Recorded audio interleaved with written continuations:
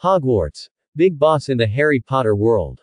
Chapter 21. In the eyes of most ordinary wizards in the magic world, those who can skillfully use black magic are dark wizards.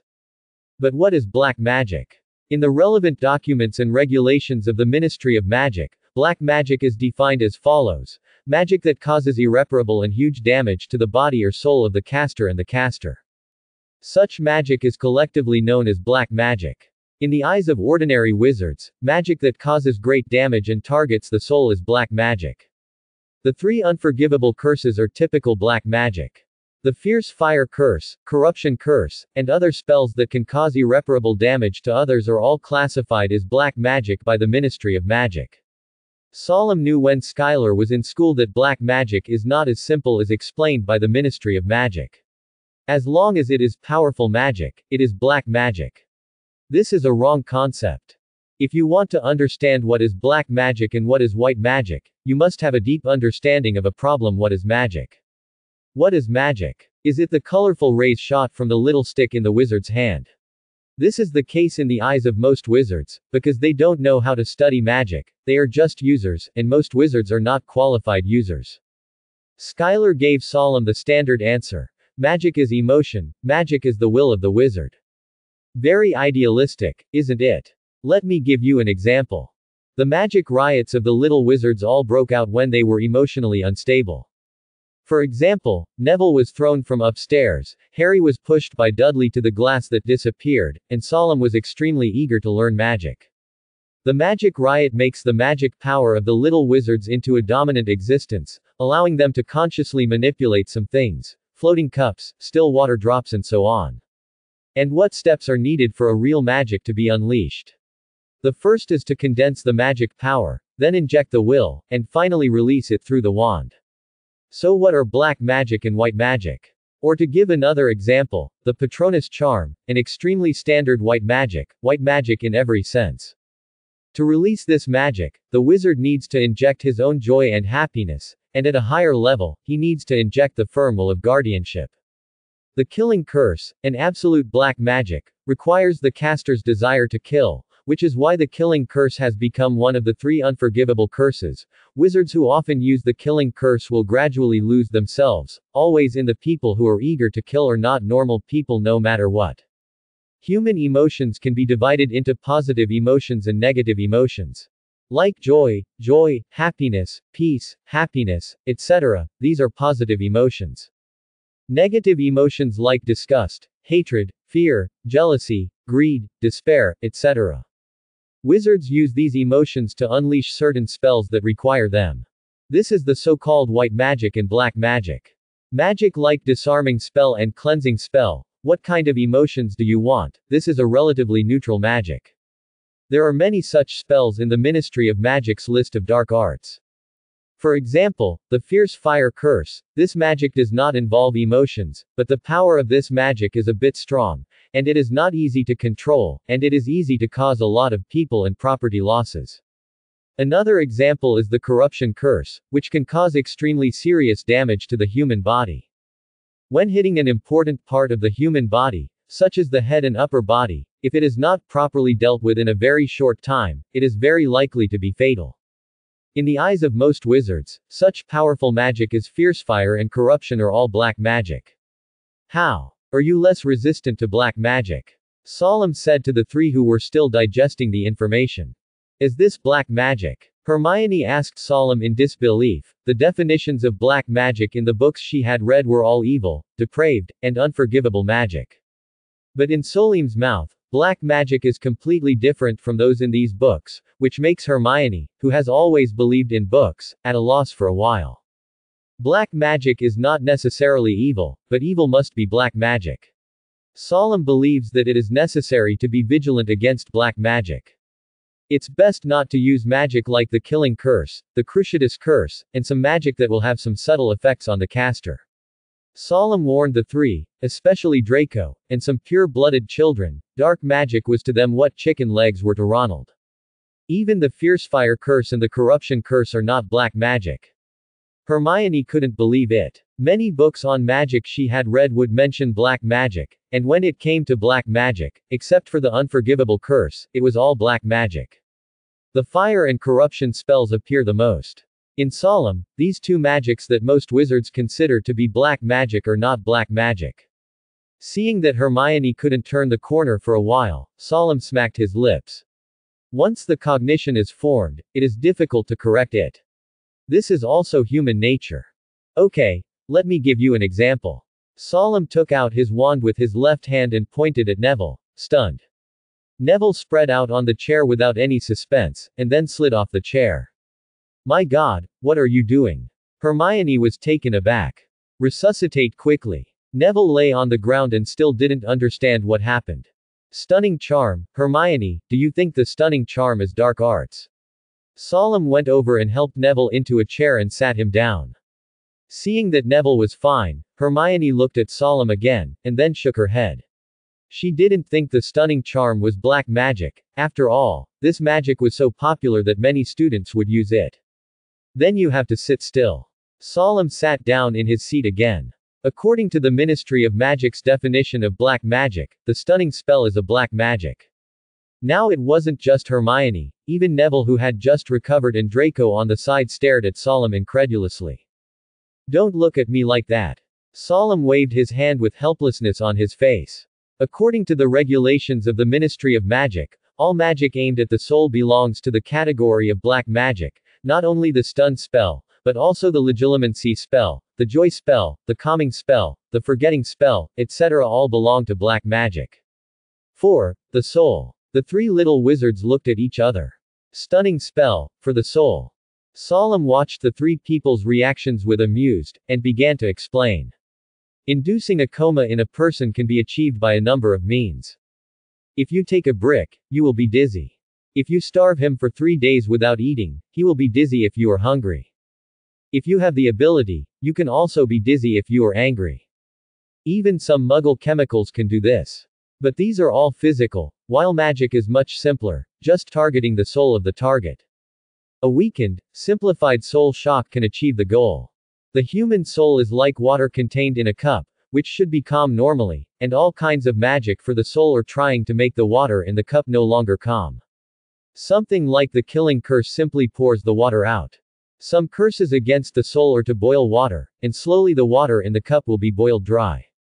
And the stunning spell is nothing more than shaking the glass to make the water in the glass oscillate. These internal things all involve the root and origin of magic, that is, the magic pattern. This is not knowledge that you can touch now. There is an elective of runes in the third grade. If you are interested, just choose it at that time. Solemn yawned. After finishing the basic popularization of black magic, Hermione was still not satisfied. And what about dark wizards? The books say that those who use black magic are dark wizards. Hermione's thirst for knowledge had always been appreciated by Solemn. It doesn't mean that those who use black magic are dark wizards, and those who don't use black magic are not black wizards.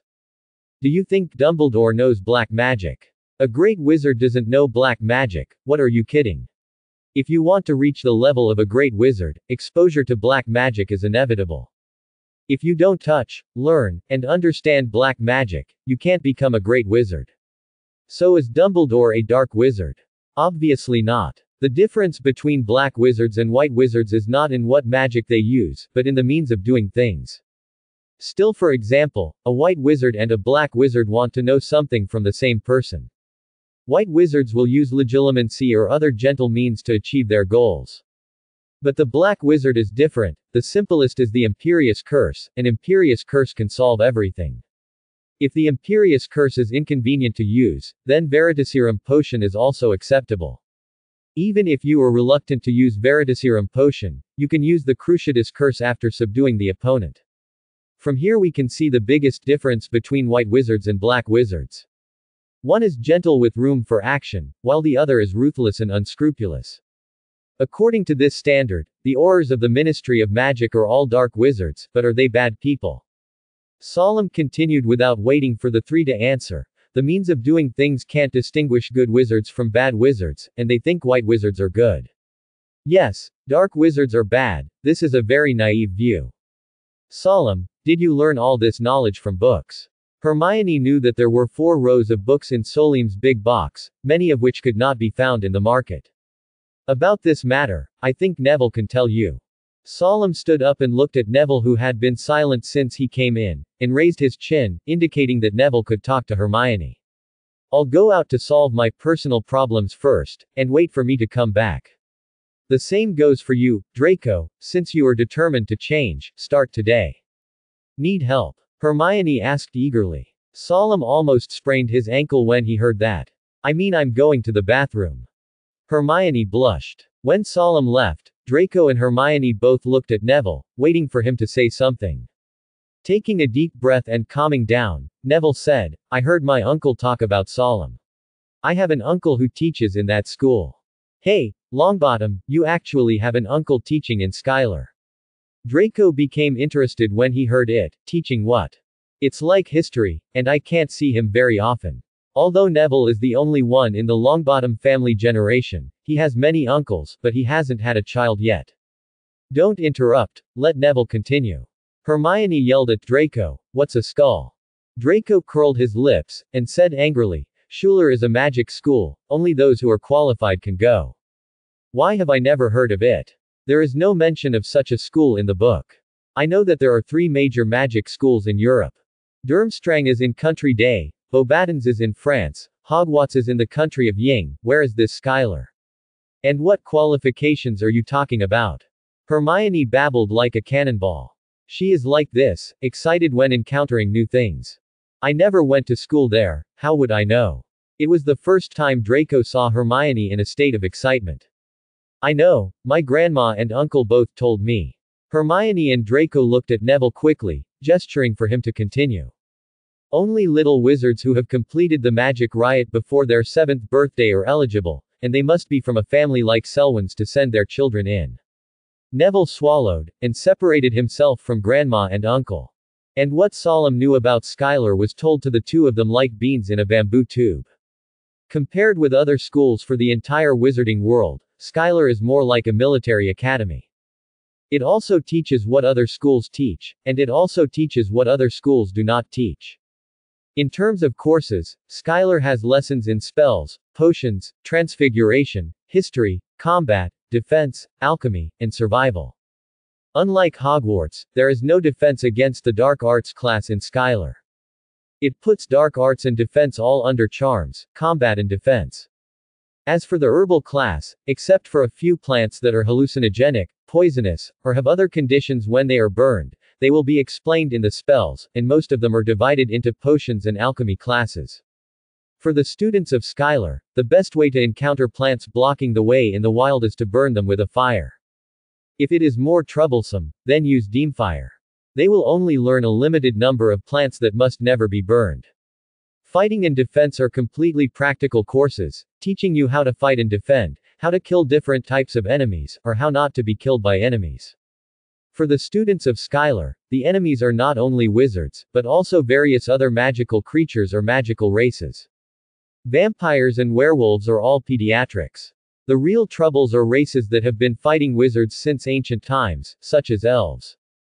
Skylar casts the Cruciatus Curse and Imperius Curse on students over the age of 7 once a month, targeting elves. Veela is a magical creature that is very popular with adult male wizards. When Veela starts to dance and sing, all the male wizards you see will fall into longing and happy feelings. You will feel that nothing is important in the world, and you will involuntarily want to please Veela and get her attention. Except for strong-willed wizards who can get rid of this influence, most male wizards are powerless against Veela. The ability of Veela comes from elves. Do you think elves can do what Veela can do? Able. And the effect is much stronger than Veela. If an ordinary wizard is charmed by Veela, he can be awakened with a single slap. If not, then two slaps. But the elf's magic aimed at the soul cannot be awakened by slapping the palm. If you want to break the influence of the elf on the wizard's soul, you need a more powerful stimulus than slapping, the Cruciatus curse. The original intention of this magical invention was to forcibly break the influence of elves on wizard souls. But everyone knows what happens to people who have been hit by the Cruciatus curse. Rolling all over the floor is considered good, but more often it is convulsions all over the body, and it is impossible to stand up. Even if you stand up, your hands are trembling, and you can't hold your wand steadily, how can you fight the elves? However, resistance to the Cruciatus curse can be produced by being subjected to it many times. To put it bluntly, it means to suffer the Cruciatus curse more often, and you will get used to it next to each other. This habit means that the body can quickly return to normal state, not that the effect of Cruciatus curse will be weakened. And Skylar trains elite wizards. To put it bluntly, it is the wizard army. Wizards who are dedicated to fighting. The wizards have never given up their vigilance against the former enemy, and the rules established since ancient times have continued to this day. Moreover, the Cruciatus curse is the same as the Imperius curse. If you suffer too much, you will develop resistance. Although the process is very inhumane, it is still of great benefit to wizards. The Cruciatus curse can exercise the wizard's endurance, and the Imperius curse can actually improve the wizard's resistance to soul magic. Even the Aurors of the Ministry of Magic have special training against the Cruciatus curse and the Imperius curse, but their strength is far less than that of Skylar. When using the Cruciatus curse and the Imperius curse, one must master the measure. Too strong will cause serious damage to little wizards, even irreparable damage, while too weak will not achieve good results. Therefore, the wizards who cast these two kinds of magic on the students in Sigil are great wizards who have profound attainments in manipulating magic power. Skylar only accepts little wizards who have had a magical riot before the age of 7, which ensures the quality of the students. No matter how old you are, the nightmare begins after you turn 7. Cruciatus and Imperius curse once a month, from the age of 7 until graduation. 24 unforgivable curses a year, no winter or summer holidays, only the 15-day Christmas holiday. If you make a mistake, there are extra, additional meals, in addition to the monthly must-haves, Schuler's students call the extra Cruciatus an Imperius curse, additional meals. When do you think you're going crazy? Next second. Or, already crazy. This is the daily greeting among Skylar students. Isn't it scary? Being tortured by the Cruciatus curse for a long time, it is true that you will recover faster and faster under the Cruciatus curse, but the indescribable pain brought by the Cruciatus curse will not decrease at all the first time you suffer from the Cruciatus curse it's the same feeling you get from Cruciatus for the hundredth time. The brain that is often confused by the Imperius curse, and the Cruciatus curse that cannot be avoided every month. It was such an extremely depressing atmosphere that made Schuyler's students more or less abnormal. Yes, that's it. Solemn said from the sidelines, if you see a normal-looking student in Skylar, then you'd better stay away from him. Because he is either crazy or out of order, on the verge of madness, or the kind of guy you can't afford to mess with. When did you come back? The three shouted in unison, completely oblivious to when Solemn came back. While you were staring intently at Neville's face. Solemn changed a serious expression. Generally speaking, Skylar is a school that attaches great importance to actual combat. I can say without exaggeration that five students who are about to graduate from Skylar can kill this school. Light. Of course, it's not considered a professor. But Skylar doesn't only cultivate combat wizards, if he really doesn't have combat talent, he can also work on potions or alchemy. The quality of Schuyler's students is not at the same level as that of Hogwarts students.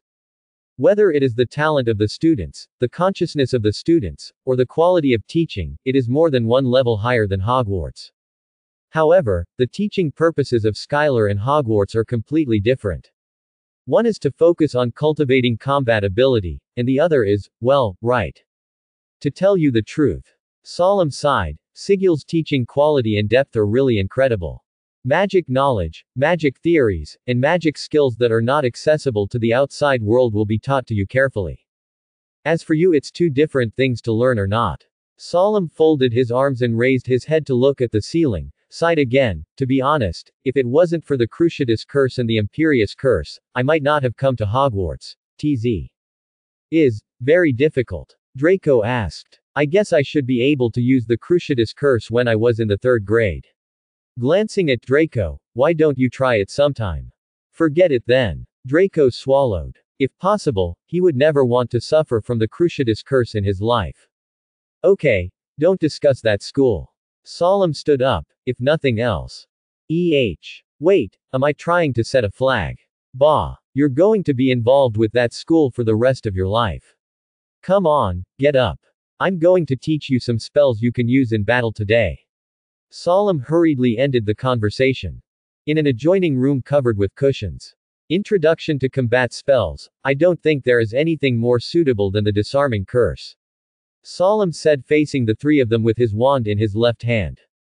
Looking at the three people who took out their wands, Solemn nodded. The first thing you have to do is to find your own suitable way of holding wands. For a wizard who is good at fighting, he can know the opponent's weight by seeing how the opponent is holding a staff. Most wizards only hold their wands with their entire palms. This is not noticeable in ordinary daily life, but once in a duel, the disadvantages of this way of holding a staff are fully revealed. The whole way of holding the wand makes the wrist joints very passive, and there is too little room for turning. When you point your wand at the opposite side, your wrist bends down, which is a very unnatural and uncomfortable position. In battle, when the enemy changes positions, they can only swing their arms in order to aim at the opponent. This is nothing to ordinary people, but in the eyes of wizards who are good at fighting, this is a huge flaw. If the way of holding a staff for ordinary wizards is holding, the way of holding a staff for wizards who are good at fighting is pinching and clamping.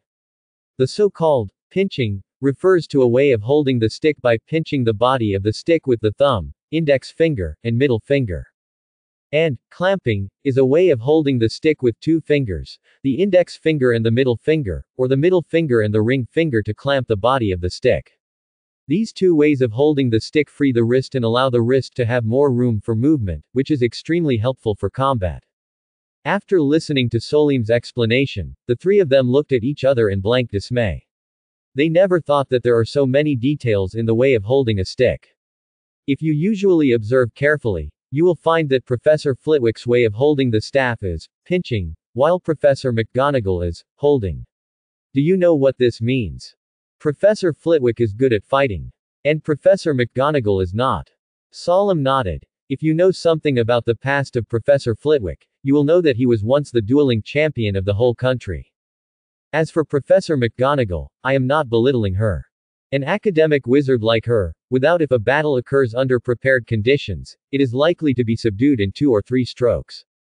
Okay, before I teach you the disarming charm, I want to ask, do any of you have dragon heartstrings in their wands? Solemn looked at Draco and Hermione. Neville's wand as he gave it to me, so naturally I don't need to ask. I know this question is a bit rash, but you must ask clearly before practicing the disarming spell. Quote. Ah, my wand has a dragon's heartstring. Hermione asked puzzled, what does that have to do with the core of the wand? Different woods and cores give wands different qualities. The dragon stick is biased towards black magic. When using magic with positive emotions, the dragon stick will weaken the power of the magic, and the dragon stick is easy to change. Maybe a failed duel will change the loyalty, or a failed spellcasting will also weaken the loyalty to the master, and gradually it will no longer be suitable for the person who holds it. Solemn walked over to take Hermione's wand and looked at it carefully. Vine wood.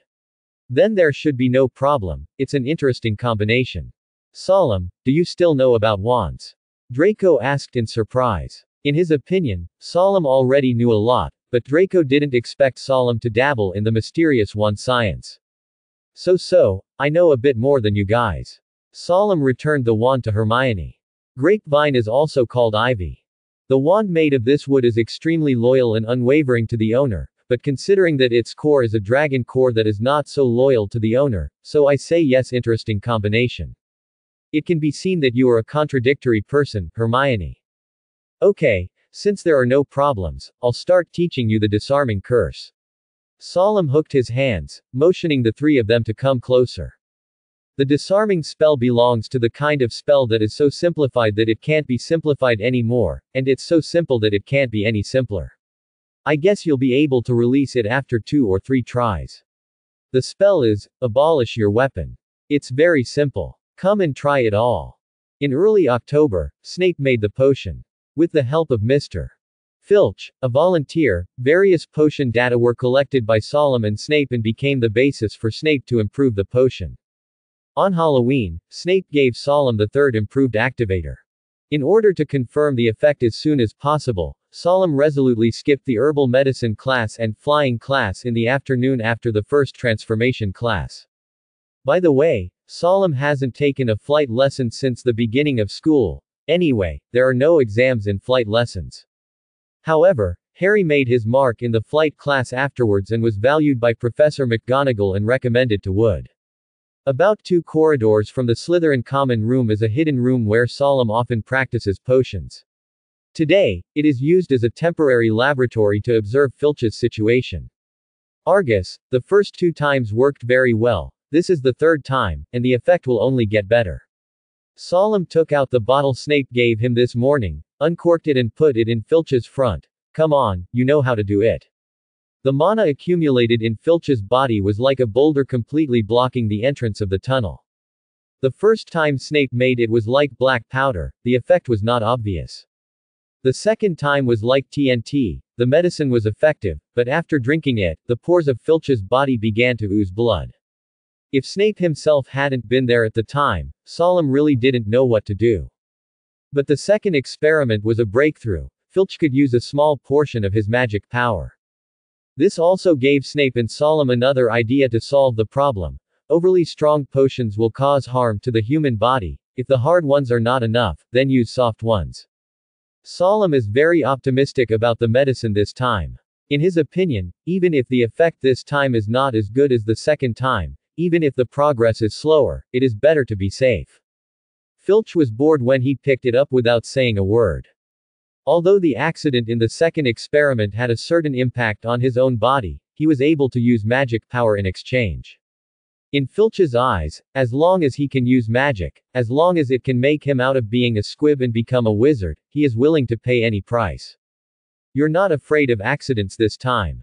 After several experiments, Solemn and Filch are already familiar with each other, and they can even make some small jokes. You're not a squib, you won't understand my mood. Filch sat on the chair well behaved, and he understood the various rules after several experiments. Raising an eyebrow, Solemn didn't speak. Indeed, he was no squib. But if it wasn't for the squib, wouldn't it be impossible to understand Filch's current mood? Solemn is noncommittal. After that, neither of them spoke again. Solemn wrote and drew in his small notebook, while Filch closed his eyes and concentrated on feeling his own body. This is considered normal, after all, this is the third time, everyone knows what to do. By the time Solemn and Filch were ready to leave the room satisfied, the dinner in the auditorium was almost over. Solemn and Filch headed to the auditorium, they hadn't eaten yet. Wait, Argus, do you smell anything? Solemn grabbed Filch, this smell, a bit like troll. Turning to look at Filch, Solemn asked hastily, Is there any school activity planned for Halloween tonight? As soon as the words came out, Solemn wanted to kick himself. If he is so busy these days, there will be trolls on Halloween. Things were forgotten. After all, Solemn. Well, he has no idea about Western festivals. Filch, it seems that something has really happened. Go to the auditorium to find the professor. He said there are mountain monsters in the castle. The exact number is not clear. With a wave of his hand, Solemn quickly said, don't worry about me, it's just a mountain monster. I'm afraid that some students in the lower grades will be discovered, and that would be terrible. Hurry up. After speaking, he gave Filch and himself a bubble curse, the smell is really bad. Solemn ignored Filch, and ran to the girls' bathroom. Sure enough, a small mountain monster was attracted by the cries in the bathroom, and was bending over to go in. With a shake of his left hand, Solemn pointed his wand at the giant monster quickly, Swarms of birds. A large group of birds flew out from the tip of the wand and went straight to the giant monster. The troll was attracted by the birds, and took his foot back into the bathroom. Probably annoyed by these little birds, the troll swung the mallet in his hand at random, but found that it had no effect, so the troll roared angrily. Hermione in the bathroom heard the commotion outside, and walked outside while wiping away tears, wanting to see what happened. Ah, the little girl's voice was very shrill, especially when they were screaming. Not only the troll, but even the prepared Solemn was startled by this voice. Oh my god, this can be used as a charm. Solemn still had time to complain. Hermione. Hurry in. Seeing the troll attracted by Hermione's scream, Solemn started to walk towards the washroom as he was slowly being led away from the door by the flock of birds. It's a pity that Hermione looked completely dumbfounded, she raised her neck and watched the troll walking towards her step by step, but didn't respond. Seeing that the troll had already raised the stick in his hand, Solemn hurriedly cast an impediment spell on the frightened little girl, and without daring to stop for a moment, Solemn quickly ran towards the door. It was a little hasty, he wasn't sure how far Hermione was pushed by the spell, if. Solemn didn't dare to think about it. When Solemn ran into the bathroom, his heart was in his crotch, Hermione tremblingly watched the troll approaching step by step in the corner, and she even forgot to use her female talent, scream.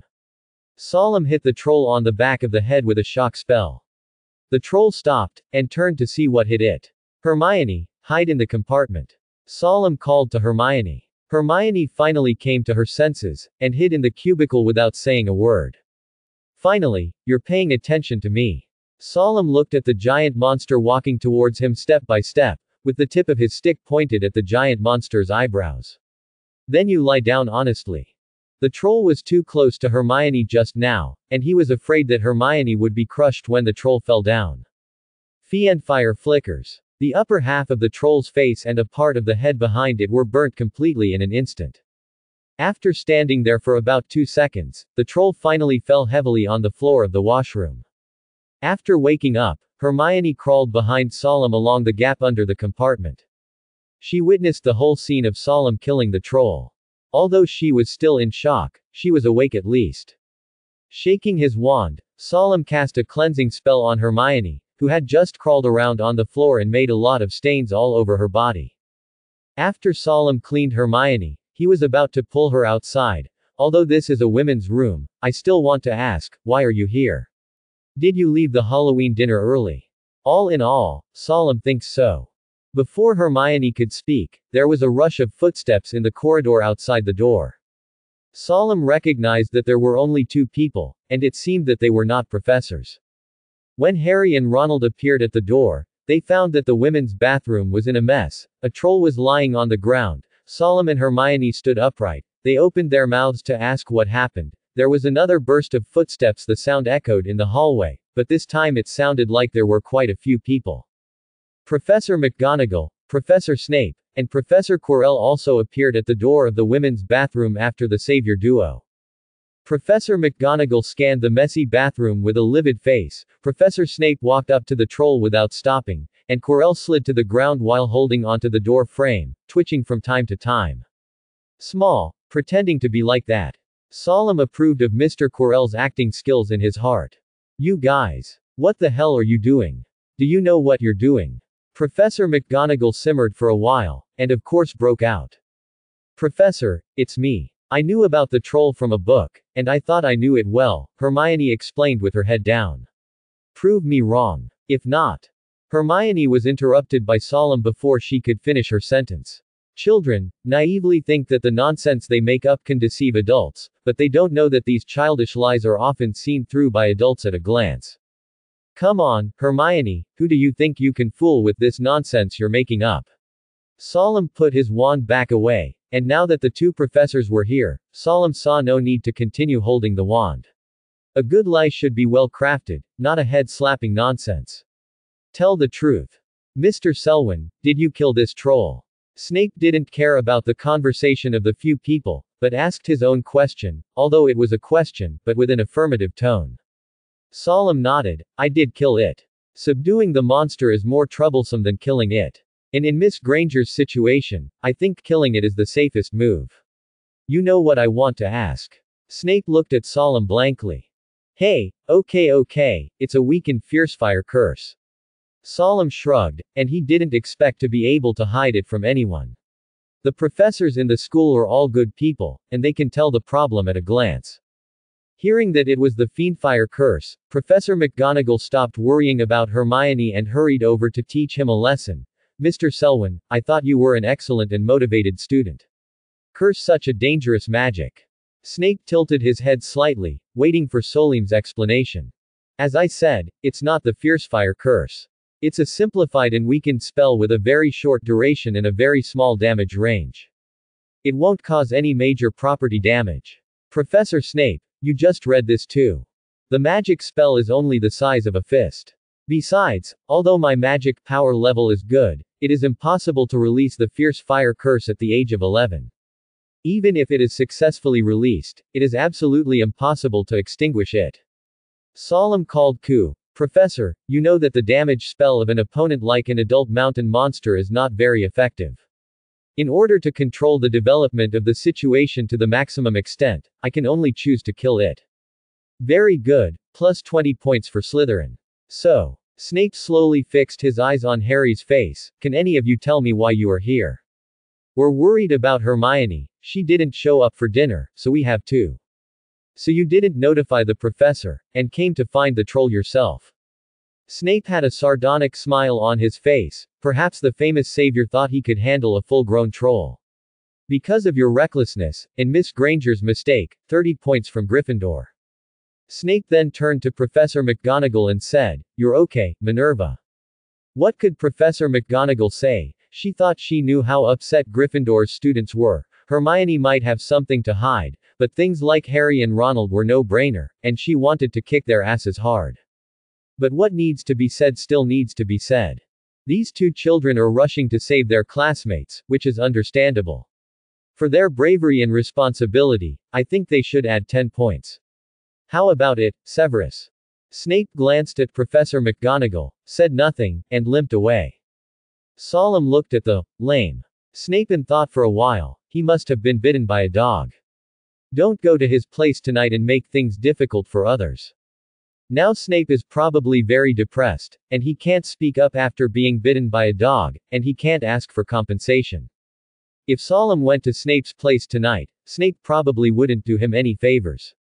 You'd better go back to your respective common rooms now, and get out of trouble. Professor McGonagall glared at each of them, then tossed his robes and left. You, you. No, no, don't worry about me, I, I'll take care of it. Quirrell stood up from the ground and said stammeringly. Solemn glanced at Quirrell as he walked past him. Too bad. Come on, Hermione, today is Thursday, Neville and Draco should be waiting for us at the old place.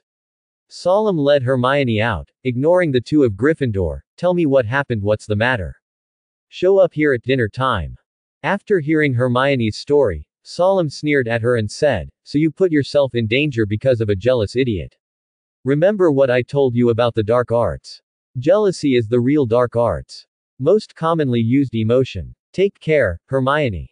It was 11 o'clock in the morning on November 9, and this was the first time Harry represented Gryffindor in a Quidditch match. His outstanding Quidditch talent brought him and Gryffindor their first victory of the year. Victory is a victory, but what happened on the field made several young wizards feel uneasy, that someone wanted to kill Harry. Harry and Ronald were discussing what had happened during the game before dinner. As for Hermione, today is Saturday, there is no class for a day, Hermione will not miss any time she can study, she has already taken Neville to prepare for the evening study. Because of Solim's presence, Hermione and the other two were not too close. As for Solemn, hee hee, do you think he's going to watch Quidditch? The little wizards in the first grade have no classes on Saturday and Sunday. These two days can be freely arranged. After the second grade, various new courses and elective courses in the third grade will fill up these two days. Full. After dinner, when Hermione brought Neville and Solemn together, the first thing she said was, Solemn, you know what happened on the court today. If you mean Potter being jinxed, yes, I know, Draco told me about it at dinner just now, what?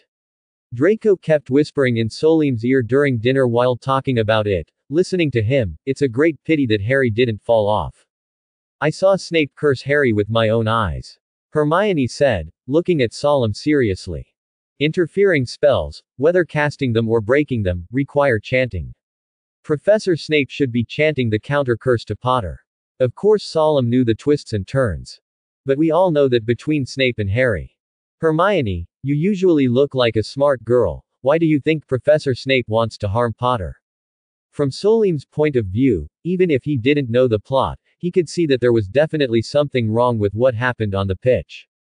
Professor Snape's extreme dislike and dislike for Gryffindor and Potter is acknowledged by everyone. Solemn shook his head lightly, but analyzing such things requires rationality and objectivity. Rather than relying on personal assumptions. Solemn decided to teach these little wizards how to deal with similar problems. Hermione, do you think Professor Snape is a fool? Solemn asked Hermione a question. Hermione shook her head. Although she didn't like Snape, Hermione had always been a good girl who was down to earth. She knew that Snape was not only not stupid, but also a very talented wizard. Having been with Solemn for so long, Hermione was arguably the student in Gryffindor who knew Snape best. Since he's not stupid, would he kill a student in front of almost the whole school? Solemn asked Hermione one after another. From your description, the distracting spell was aimed at Potter's a asterisk asterisk the broom fell, not Potter himself. Well, even if he succeeded, Potter fell, and then. Did Potter just crack and fall to his death? Solemn looked at Neville and Draco. Can you believe that a student fell off a broom and died in front of so many senior students and professors? Solemn didn't wait for them to speak, and went on and on like a machine gun. Potter will fall to his death unless none of the wizards present are carrying wands. Even without a wand, a wandless levitation spell is not difficult for Professor Flitwick, I can be sure of that. Potter will fall to his death, unless all the wizards present have forgotten how to use the levitation charm. Even if they all forgot how to use the levitation charm, no one would be killed at that height, at least not on the spot. As long as there is half a breath left, Madame Pomfrey can revive Potter. If you want Potter to die, there are a lot of opportunities in the hallway, in the lounge, in the toilet, anywhere. But this person chose a stadium full of people. Do you think this person is stupid? And the target of this idiot's spell is not Potter, but the broom under Potter's A asterisk. Expecting Potter to fall off the broom and fall to his death is better than expecting Potter to fall to his death when he goes down the stairs. The chances are better. And this idiot is still obediently sitting on the viewing stand, staring at Potter and chanting spells, without any regard for the people around him. Come on, Hermione, tell me, do you still think that the person who killed Potter is Professor Snape? Solemn folded his arms and looked at the confused Hermione in front of him. It was rare to see Hermione like this. Solim's burst of machine guns stunned Hermione, and now she is still a little bit overwhelmed. Indeed, these problems are things that Hermione hadn't thought about before. Now that I think about it, these are very glaring, very obvious problems. But Hermione didn't notice any of them at the time. Of course, it doesn't necessarily mean that someone is trying to harm Potter, maybe it's just to interfere with his competition. You know, some senior students in Slytherin can do this. Although this method is very stupid. Solemn turned his face to look to Draco. Draco, have you heard any gossip in the courtyard? No, why don't I go back and find out? Draco also wanted to know if any senior senior in the academy had shot Harry. What if not? Hermione was a little worried. What if someone really wanted to kill Harry? If someone really wanted to kill Potter, and they chose this time period, then the person who did it didn't really want to kill Potter. Solemn stared at Hermione, but to send a message to everyone, someone in the school wants to kill Potter. Kill Potter and put the professors on alert. Then why didn't he just go tell the professors? Hermione asked. Hermione, I think you can figure this out yourself. Solemn looked at the three people in front of him. If you really want to go farther than others on the road of magic, then you must learn to use your brains. Wizards without brains don't live long. Solemn finished talking about Potter and started checking the trio's mastery of the disarming charm. Among the three, Draco's mastery of the disarming curse is the best, and Neville is of course the worst. Although he did release it, in Solemn's opinion, such a slow release speed is not as good as going up and using it. Fist. It's too slow, Solemn shook his head. You all cast the disarming charm too slowly, but since you're all new to combat spells, it's understandable. The battle rhythm between wizards is very fast, and the key to victory in many cases is the speed of spell release.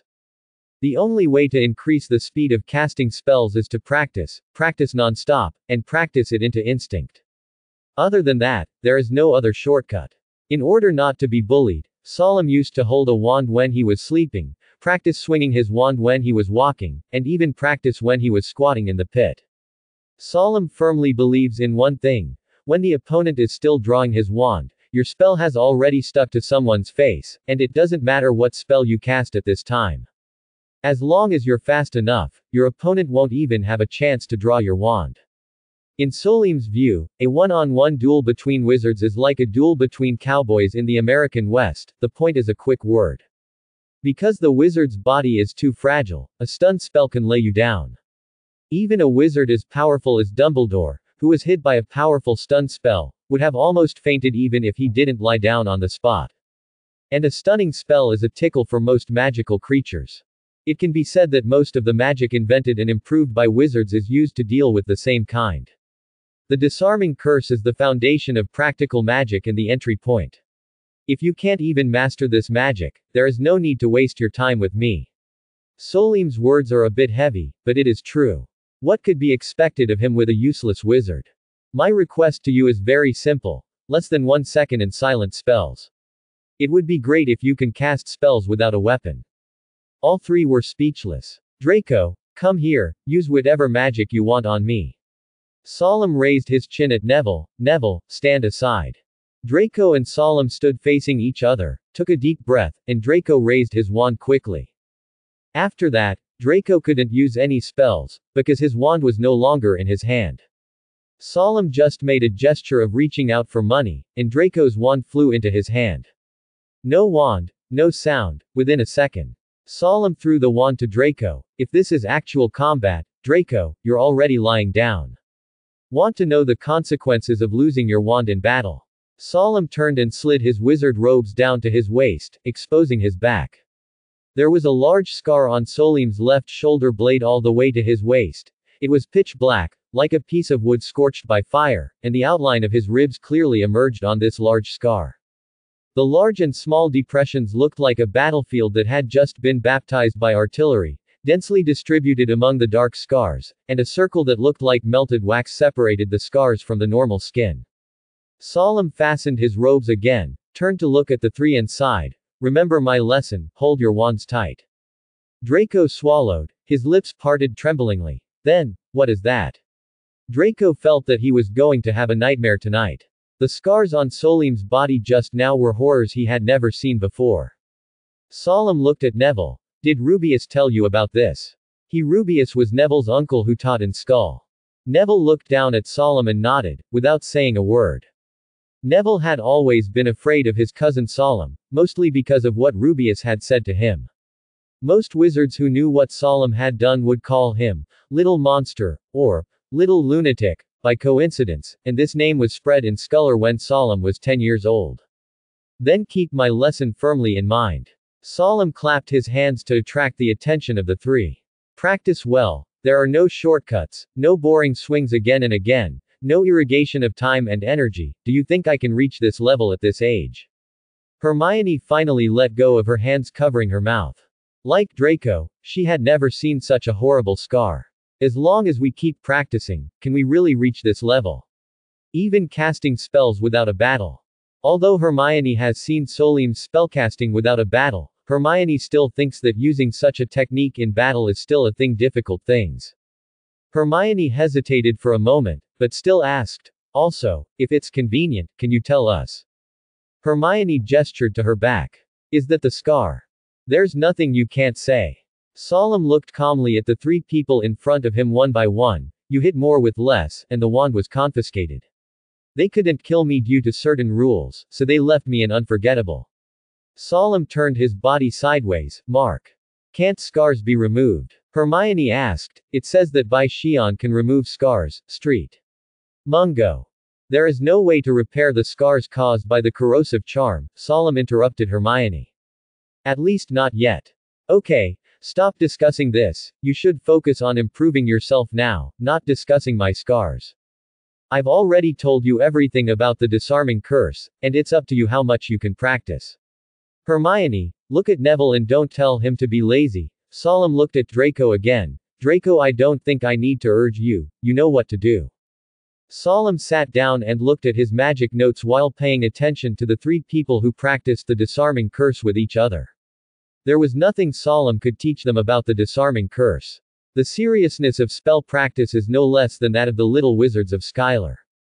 They are still young, they still have a lot of time, and Solemn is very interested in how far they can grow under his intervention. The Gryffindor common room was always buzzing. Groups of three or five chat loudly and brag, sit in a circle and play crackling and exploding cards, and those who play wizard chess. The only time to be quiet in Gryffindor's common room is to sleep with Gryffindor's Quidditch match and during vacations. When Hermione and Neville entered the common room through the fat lady's guarded doorway, they were not surprised that what they saw was the norm in the Gryffindor lounge, although Hermione still sometimes complained that the Gryffindor students were too noisy. Hermione took Neville to the corner of the lounge and sat down, and she couldn't wait to speak. Hermione still couldn't forget the horrible scar on Solim's back. She wanted to know more, but it was obvious that Solim didn't want to say more. She could only hope that what would Vale know? After all Neville had an uncle who had taught Solim. Neville, tell me, what else do you know about the scar on your cousin's back? Neville has been with Solim for almost half a semester, and there are no major changes. The minor change is that he speaks more fluently, at least he will not stutter. Hermione, I actually don't know much. I only know that Solim was bullied miserably when he first entered that school. Neville scratched his head, it's just like me before, but now that he's here, nobody bullies me, and Malfoy talks to me now. I really appreciate my cousin. Hurry up and get to the point. Hermione saw that Neville was about to reminisce, and interrupted him hastily.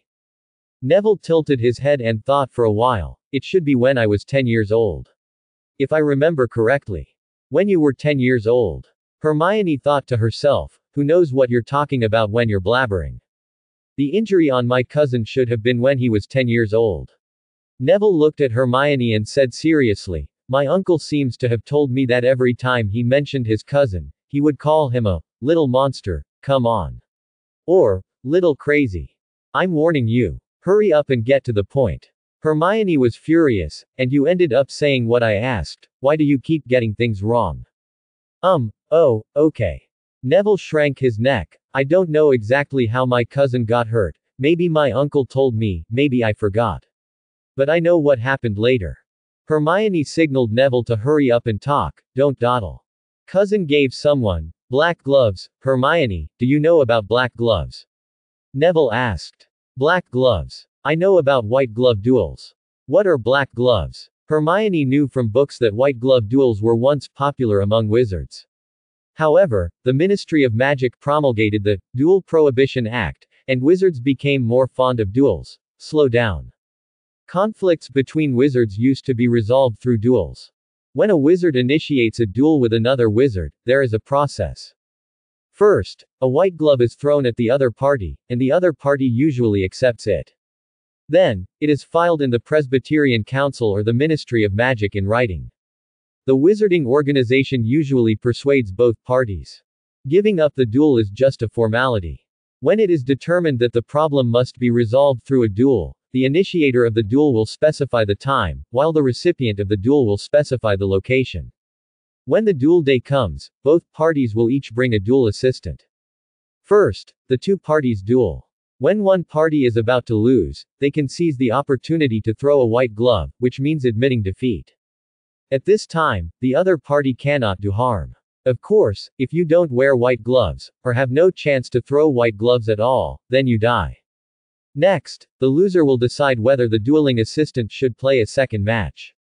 If they want to fight, the winning side will decide whether the party will continue to fight or send an assistant. After the duel, look at the result.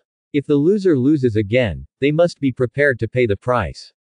Maybe it's galleon, maybe it's something else. But if it is to be won, it is a tie, and there shall be no more duels between the two parties. Then the duel process and results will be recorded by wizarding institutions. The black gloves are different, and it is different from the white glove duel. Even if you lose, you have a great chance of surviving. Black gloves mean deathmatch, no assistance, no additional alchemy items, the only thing to rely on is the wand in hand and the skills of the wizard. Black gloves are duels aimed at killing each other. The black gloves also have a similar set of procedures and rules. The age difference between the two parties must not exceed 20 years, and both parties must have a reason not to die, which prevents duels like white glove duels because of trivial matters. Hermione listened with gusto, but she wasn't worried about Solim. After all, Solim was living well now. Wait, Neville, Hermione seemed to realize something, Solim. Solim, he killed someone. Solim is a man who has experienced black glove duels, and he is now studying at Hogwarts, so it goes without saying. How could Solemn survive without killing the other party? Neville nodded, yes, I was shocked when I found out. The other party seems to be a very old family, I forgot what it was called. My uncle said that the duel between cousins had a great impact, and he offended killed a lot of people. But the uncle said that the cousin did nothing wrong. Hermione suddenly realized that Solemn was fundamentally different from the other students at Hogwarts. Of course Hermione knew that Solemn was very strong, and also knew that Solim's mastery of magical knowledge and skills far surpassed that of the students in the school.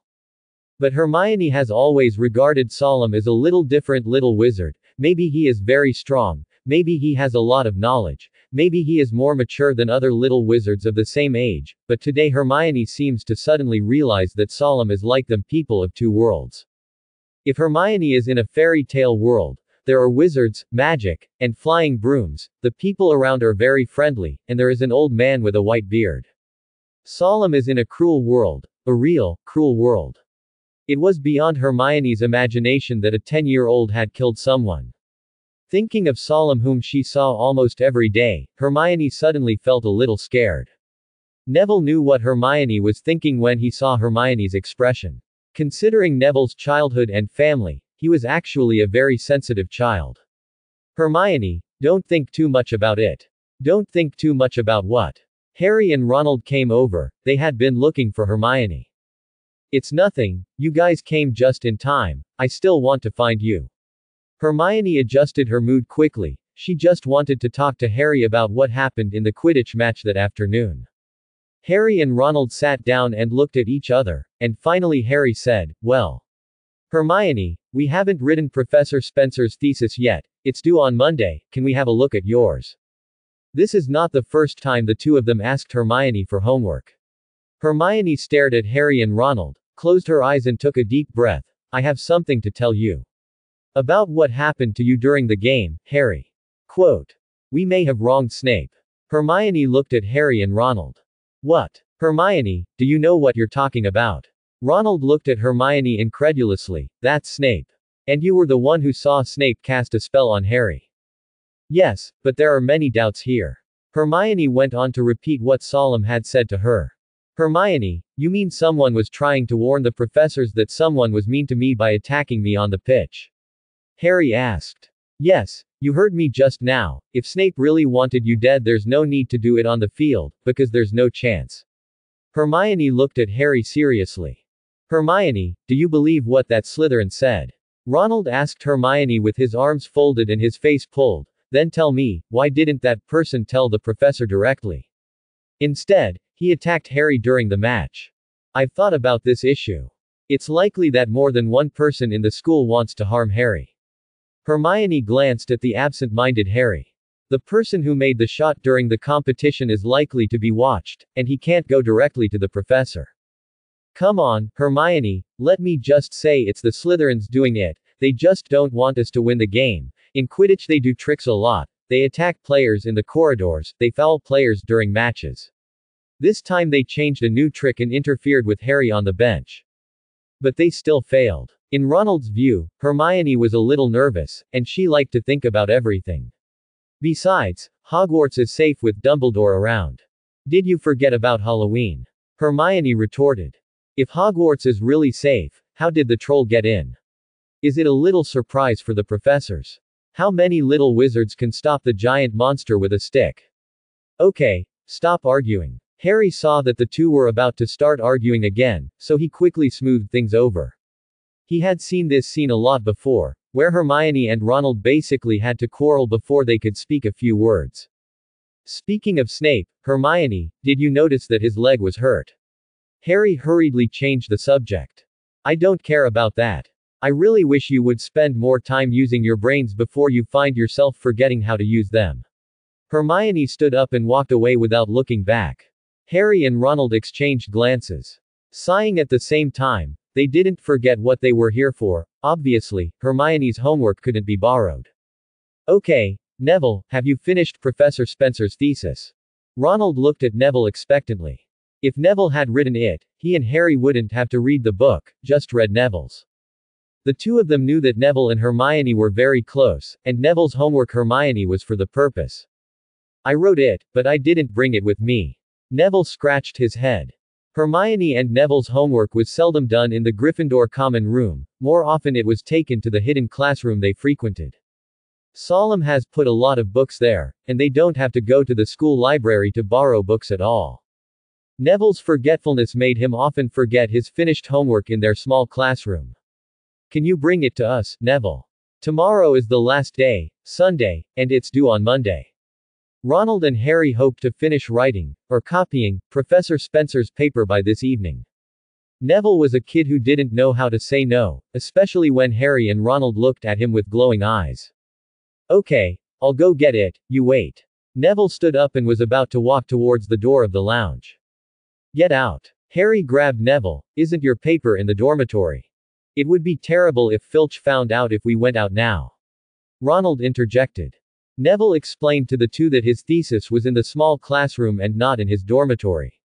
While it was lights out time for freshmen, it wasn't a problem for Gryffindors like Harry and Ronald. They'd already run out several times during lights out. Neville, you probably don't have experience of going out after lights out, do you? Harry and I will go with you, so we can take care of each other if we meet Filch. Harry nodded straight aside. When the three of them stood in the corridor and were ready to act, the portrait of the fat lady behind them opened again. I knew it. Hermione looked at the three people in front of her angrily. I knew what you were thinking about Neville from the three of you sitting there muttering, I'll tell you too. Write your own homework. Hermione turned her head looking at Neville. Neville, you come back with me, and you are not allowed to lend them your homework in the future. Maybe it's God's will, maybe it's some bad old man with a bad heart. When Hermione turned to go back, the fat lady had disappeared from her portrait. What are you going to do now? Ronald looked at Hermione proudly. Just stand here and wait for the fat lady to come back. Or wait until Filch catches you first. The four Gryffindor cubs had no idea what was in store for them this evening. During breakfast the next day, Hermione hurried to the long table of Slytherins. She ignored the hostile eyes of the Slytherins and walked straight to Solemn. Solemn, I have something to tell you, we were at last night. Hermione was interrupted before she could finish her sentence. Of course it would be interrupted. A Gryffindor muggle wizard came to the hardest hit area where blood theory was rampant, and Hermione might be pointed at by her wand if someone in the professor's chair was not watching the scene at the moment. HMPH, A. Brace, Solemn smiled at Zabini across the way. Are you really going to say that word? Zabini was about to say something when Draco kicked him under the table. Solemn smiled at the two, then turned to look at Hermione. You haven't eaten breakfast yet, go back and eat before talking about anything else. After sending Hermione away, Solemn said to Zabini and Draco while dealing with the food in front of him, There is nothing wrong with being proud of your bloodline. But using it to hurt others. Solemn raised his eyelids and swept glancing at Zabini, this is a childish, low-level approach. Blaise, I'm looking forward to your final grades. Final grades. Zabini sneered, what does that kind of written grades mean? Although the written results are not comprehensive, they can explain a lot of things. Solemn wiped his mouth and looked at Draco, do you want to listen together? Solemn also experienced a Gryffindor welcome when he led Draco to the Gryffindor table, for the Slytherins. Nothing good to say of course, Solemn was completely immune to Gryffindor's trash talk, which seemed to him so childish, it didn't even inspire him to fight back. But Draco who followed him was different. Although Draco had indeed changed a lot under the influence of Solemn, the inherent hostility of Slytherin towards Gryffindor could not be changed in a day or two. Fortunately, Draco also knew that they were in other people's territory now, so he followed Solemn's example and kept silent. Hermione, the old place. I'll bring the suitcase there later, and don't forget to bring the book. Before Hermione finished eating, Solemn took Draco and left the Gryffindor long table after a few words of explanation. Hermione did you tell him? Harry asked Hermione in a low voice. Ready to say. Why? It's none of his business. Hermione had a hard time hearing what Ronald was saying, his mouth was full of food. Even if I didn't say Neville, I would. Hermione resolutely blamed Neville. What's this? A Slytherin spy sent to Gryffindor. Ronald finally swallowed his mouth. He looked at Neville and Hermione, maybe too. I'm too lazy to argue with you, Neville, we should go. Hermione gave Ronald a blank look, beckoning Neville to leave. Wait Hermione, we are also involved in this matter, if there is anything, you understand. I think Harry and I should know too. It's up to you, but I want to remind you that you'd better keep your mouth shut. Hermione led Neville away without looking back. By the time Hermione and Neville arrived in the small classroom with the two followers, Solemn and Draco had already arrived. Hermione had just gone back to her dormitory to pick up a book she had borrowed from Solemn, and she wasted some time, since Gryffindor's lounge was on the eighth floor. Okay, let's hear it, what's so important that you came to tell me in such a hurry that you didn't even have a meal in the morning? Solemn asked Hermione only after the group of people were seated. Solemn, do you remember the hallway on the fourth floor that Headmaster Dumbledore mentioned at the opening dinner that students are not allowed to approach? We found a big dog with three heads there last night. Hermione briefly described what happened to the four of them last night. A big dog with three heads. You mean a three-headed dog. Solemn rubbed his chin and pretended to think, then it must be tied up, otherwise you wouldn't be able to come back last night. The three-headed dog is a five-star dangerous magical creature. If they really want to confront each other head-on, if there are no hitters from the two teams, they will just deliver food. And even if there are two teams of hitters to deal with a three-headed dog, it is still unknown whether they can win. You must know that most magic has no effect on creatures whose danger level is rated as 5 stars. That's not the point. It's guarding something, the big dog standing over a trapdoor. Hermione's tone was agitated. So, what does this have to do with you? Solemn asked coldly. Several people were speechless. Yeah, whatever the three-headed dog is guarding, what does that have to do with a few freshmen? You are curious about what it guards, aren't you? Solemn folded his arms and glanced at several people in turn. But do you have the strength? It is right to be curious, but one must be self-aware. Know what you can touch and what you can't. Gryffindor's Little Lion is obviously inferior to the other three colleges in this regard. The little snakes in Slytherin are generally precocious. They may be curious about what the three-headed dog guards, but they will never put themselves in danger. The hawks of Ravenclaw, well, are probably more interested in the three-headed dog itself than what the three-headed dog guards. As for the little badgers of Hufflepuff, ah, they hardly know how to swim at night. Even if they come out during the gate control time, the little badgers will only go to the kitchen next door to get food, and they will not run around in the castle at all. If you are curious about the three-headed dog, you can read the writings of Scamander. If you are curious about the trapdoor, hee hee, write the suicide note first. Solemn's words were obviously aimed at Harry and Ronald said. None of this interested Neville at all. Hermione was also a sensible person. Listen to you, how do I feel that you know something? Although Hermione could not be called a woman yet, the natural skills of a woman as a creature were well reflected in her. Glancing at Hermione, Solemn thought for a while, and said, You guys want to play this adventure game, don't you? I won't stop you, but you bear the consequences yourself. Before Solemn came to Hogwarts earlier, he also struggled with whether to get involved in Harry Potter's affairs. If you don't participate, then why go to Hogwarts, watch a play? But if you really want to participate, it will definitely bring about some unexpected changes. But now that he has come to Hogwarts, it shows that Solemn still wants to make trouble in his heart. After all, watching and participating in the story, the scenery seen by these two roads must be different. You might as well guess who is taking care of that dog. Let me tell you first, I'm not interested in this matter, I want to risk you to play by yourself. Solemn feels like an NPC, the protagonist is here to accept tasks and NPCs who learn skills. Hagrid was a question that couldn't bother Harry, and certainly not Hermione. The three of Gryffindor looked at each other excitedly. Now that you know everything, are you still in the mood to sit with me? Solemn wanted to get rid of a few people quickly, and then he could do his own thing. He still had to go find Snape later, and he would go after Snape. Find Filch. Even though it is Sunday, usually this day is the busiest day in Solemn. Hermione watched Solemn hesitate to speak, she was a little confused now. Her rationality told herself not to get involved in these things, there was a great possibility of danger. But her heart is completely opposite, eager to take risks, eager to explore the unknown. Solemn, is this, right for us? Hermione finally got the words out, albeit coyly. Seeing Hermione's contradiction, Solemn was very happy. He has reason to be happy, a conflict between nature and reason, which is a hallmark phenomenon. Only now he didn't want to talk to Hermione. Ask your own heart. Solemn tapped his chest. Let's talk about returning books and so on when you come back. I'll be here tonight. After the three of them had left, looking at Neville who stayed behind, Solemn asked, Aren't you going? Neville shook his head. I'm going to practice the disarming charm today. Don't think that Neville is usually a dull guy like Solemn's second brother, but he knows what he should do, and he has a clear goal. Such a person, even with a little talent, will achieve considerable achievements. The relationship is good, how about Draco? Do you want to be with Neville or not?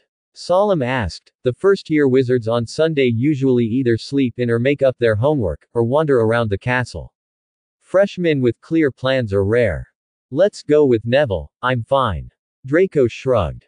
Raising his eyebrows, Solemn took out a few bottles of blue potions from the box he brought and handed them to the two of them, saying, This is a motivation potion, your magic power level is not enough, these potions can help you save a lot time. Motivation potion is a potion that restores magic power. It has very few side effects on the human body. The only disadvantage is that drug resistance will develop with the number of times it is taken, and it will have no effect on wizards in the end. Encouragement potion, it's not very cheap, I remember a bottle cost nearly 5 galleons. Draco took the potion, looked at Solemn and asked, What about you? I have other things to do. Use these medicines well, don't save me, these medicines are useless to me. These medicines and so on were given by Solemn's grandfather when he was in school. Solemn drinks motivational potions like water, and practice spellcasting whenever he has time, the little wizard's magic power will naturally not keep up, and it would be a waste of time to wait for the magic power to recover naturally, especially in Sigil, this place is everywhere hostile place. The energizing potion saved Solemn a lot of time. Okay, practice on your own, I'm leaving. Solemn waved his hand, see you at lunch. After leaving the door, Solemn headed straight to Snape's office in the basement. Today he had a lot of things to do. Hagrid's hut. So that's it, Hagrid, is that three-headed dog yours? Just like Hermione who knew Solemn well, the task of communicating with Hagrid was Harry's. How do you know about Lu Wei? Hagrid put down the teapot in his hand, and he was pouring tea for the three of them. Lu Wei. The three looked at each other. Well, I won it from a Grecian, and I lent it to Dumbledore to guard. Hagrid finally remembered at the critical moment that this is not something that three freshmen should know. What? Hermione asked eagerly. Enough. Don't ask. This is not what you should know. Hagrid said roughly, this is secret number one. Get it. But it bit Snape. I saw him limping that day. I don't know what else in school could hurt Snape except that dog. Harry looked into Hagrid's dark eyes unwillingly. That's impossible. Lu Wei is a good boy. Hagrid took a deep breath and slowed down his tone. Listen, you three. You're meddling in things that don't concern you, it's dangerous. Forget about the big dog, and what he's watching. It's none of your business. This is a relationship between Dumbledore and Nicholas, between. Aha. So there's a man named Nicholas involved, isn't it? Harry asked angrily. Not surprisingly, the three were driven out of the hut by Hagrid. On the way back to the castle there were three, well, it should have been two. Harry and Ronald were arguing about what Fluffy was guarding. Until the dull ones realized that Hermione hadn't said a word the whole way. Hermione, what's the matter? Nicole May. I have some images of this name, but I just don't remember where I saw it. Hermione tugged at her hair in distress. Maybe it's in a certain book you've read. Ronald reminded kindly. Are you talking nonsense? Hermione rolled her eyes and ignored Ronald. Maybe we should go to the library, there should be information about Nicholas. Harry said aside. Harry's words immediately got Ronald's support, and Hermione also said that since she couldn't remember it, it would be a good idea to go to the library to look for it. But Hermione knew a better way, that is to ask Solemn directly. Hermione dared to use her final grades to bet that Solemn would definitely know this Nicholas May. But Hermione's petite ego snuffed out the thought immediately. Okay, Hermione nodded. The three of us will look separately and hope to find it before dinner. At Hogwarts, most of the staff and students' understanding of the underground of the castle is lacking. Slytherin and Hufflepuff's common room, Potion's classroom, Snape's office, kitchen, and many empty classrooms. This is the underground of Hogwarts that most people know. In fact, the underground of Hogwarts is not only the Slytherin's Chamber of Secrets. The underground pipes extending in all directions connect the various rooms together, and through the pipes in the castle wall, they are connected to some rooms of the above-ground buildings, and even the common rooms of the four colleges. Every time Solemn walks in the underground corridor, he can't help thinking of these unknown secrets, and he is eager to explore these unknowns. But it's a pity that the second basement floor is the limit he can reach now, because he can't find the way. But he didn't come here today to explore these unknowns, he wanted to explore Hogwarts, he would have plenty of time in the future, he came here today to find Snape. Snape's office was even more bleak than the hallway, and darkness was the constant tone here. In contrast to the well-lit other above-ground faculty offices, the only sources of light here are the ceiling and some candles on the tables, and not all of them are lit. In such a dark and cold environment, it is not uncommon for the little wizard who came here for the first time to be scared to pee his pants. No student who had been locked up in Snape's office would want to come back again. Closing the door, Solemn followed Snape's limping a asterisk asterisk obediently to the best lit part of the office, Snape's desk. Professor, Solemn said, watching Snape sit down. If the injury on your leg is difficult to treat, you might as well ask Dumbledore for a few tears, that will be more effective than anything else. Of course, the tears of the phoenix, this is a healing treasure that even gold galleons can't buy. Snape glanced at Solemn with blank eyes, but said nothing.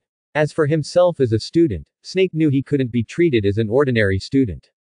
During the Halloween troll event, the student used a spell that was still fresh in Snape's memory. Don't look at the hype that Solemn said at the time, what has a small scope of action and what has a short duration are all ghosts. A wizard like Snape could see through the essence of this magic at a glance.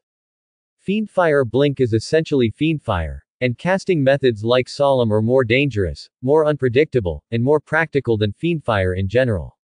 The release of Fiendfyre flickering does not require a lot of magic power to support it like Fiercefire Curse, nor does it need subtle magic manipulation to control like Fiercefire Curse, nor does it have various uncertainties like Fiercefire Curse. Sudden, deadly, manipulative, and the mana consumption of releasing Fiendfyre is definitely much less than Fiendfyre's curse. This is a very mature mutant spell. That's what Snape thought of the Fiend Flash that Solemn had used that night. Professor, the potion is quite mature after four improvements. Solemn had already prepared a draft on the way here. What I want to ask now is, will the fully activated magic power have any bad effects on the human body, for example? Don't you have a ready-made test subject? Snape was not interested in listening to Solemn's tirade, so he interrupted Solemn directly. Ah, so to speak. Solemn scratched his head, but just in case. The current experimental data are all from the same person. If you know something about potions, you should know what's in it. Snape paused, hidden dangers. What else could Solemn say? Even a muggle doctor would understand that the fact that a medicine is effective for a single patient does not mean that it is effective for all patients. But squibs are rare, let alone squibs like Filch or Silna who have not experienced magic riots for special reasons. If in the Muggle medical field, a new drug is dared to be produced and sold with only one successful clinical case, something will definitely happen. It seems that I still have to contact my grandfather, so I might as well go back on vacation. Although Solemn really didn't want to go back, the way that woman looked at him. Thinking of this, Solemn got goosebumps all over his body. And for Christmas, a violent man and a big boring guy will go back, and the boring guy is okay, but Dax, the violent man, thinks that he will have a fight with his cheap brother, Solemn bites his teeth Hanako. The point is that Solemn knows that he can't beat that violent man. It seemed that it was best for me to stay under the watchful eyes of my grandfather when I got home, and not give that woman a chance to mock me or give Dax a chance to beat him. Snape looked at Solemn in front of him shivering and gnashing his teeth, and didn't ask him what he was thinking, Snape wasn't interested in these things. I've done what you asked me to do, so what about what you promised me? Snape didn't care what happened to Solemn, he agreed to this errand in the first place because of what Solemn promised him. As long as Solemn keeps his word, he can't be bothered with the mess. Well, anyway, Professor, you really helped me. Solemn temporarily put those bullshit things behind him. I promise you things will be fulfilled. Don't worry about that, but as soon as possible it's after the festival, and I will bring you that key item when the second grade starts at the latest. Solemn thought about it, and decided to give Snape an answer first.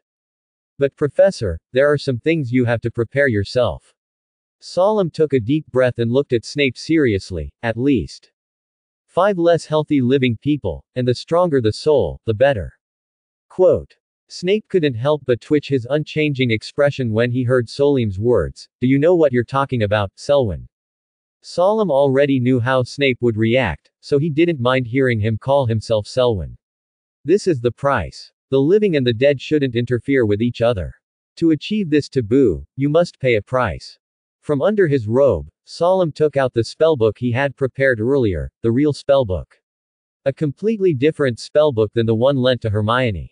The cover of the spellbook was a sallow, unknown material that looked greasy, and the candles and the firelight from the fireplace danced on the cover. Solemn put the book facing himself, took out his wand with his left hand, and stroked his right wrist lightly, then put his right wrist on top of the cover of the magic book, allowing the blood to slowly fill the pattern in the middle of the cover. Snape watched Solemn's actions with a blank face, but was very surprised in his heart. He could see that Solemn had used a silent cutting spell when he cut his wrist, and the problem wasn't the silent casting of the spell, but the precise control of the magic that Solemn displayed. With such a close distance, the hand may be cut off accidentally, but the depth of Solemn's cut is very suitable, it will neither cause a lot of bleeding because the cut is too deep, nor cause insufficient bleeding due to too shallow cut. Goog. Goog. Snape was sure the eerie swallowing sound was coming from the spellbook on his desk. The blood that Solemn dripped on the cover was absorbed, and Snape saw lines of veins buried under the cover, slowly emerging with Solemn's blood. Only then did Snape see clearly that the pattern on the cover was a heart. What is this? Snape couldn't help but asked anyway. Solemn gave himself a simple healing spell, but since the one he was using now was a dragon staff. The effect is somewhat unsatisfactory. After all, what dragon stick is best at is fighting. The magic book, the magic book that only Selwyn can open. After treating the wound, Solemn hurriedly opened the book. This book is consuming my blood now. Wait until my blood is exhausted. If you haven't finished reading it, I will you'll have to cut your wrists again. Look here. The magic book sounds like something a wizard would touch. But in fact, only books with constant magic on them can be called magic books, not things that record magic in books are called magic books. Real magic books are all orphans, because their production is too difficult, the production cycle is too long, and the production cost is too high. Ordinary wizard families really don't have this kind of thing. The families that can produce magic books are ruthless ones with a long history and capable people. The spellbook Solemn showed Snape didn't actually have a name on the cover, but those who knew the spellbook usually called it the Book of Blood, or Selwyn's Book of Blood. The way to open this book is Selwyn's blood, whether it is voluntary or forced, as long as Selwyn's fresh blood is dripped on the heart of the cover painting, this book can be opened, and the time to open it will be look at the quality and quantity of blood. Solemn tried it himself, let the heart on the cover fully appear, and when the color of the heart reaches the brightest, the book can be read for half an hour. But his grandfather said that the blood of Selwyn today is much thinner than it was hundreds of years ago. It may be in Solemn's generation, or in Solemn's next generation, the family is likely to carry out the sublimation ceremony provided that the material ready. For a while, neither of the two people at the desk spoke. Solemn because the book brought back some memories, while Snape was shocked, maybe a little excited. Snape was of course a gifted wizard, there was no doubting that. But there were some things that a wizard of Snape's background couldn't touch.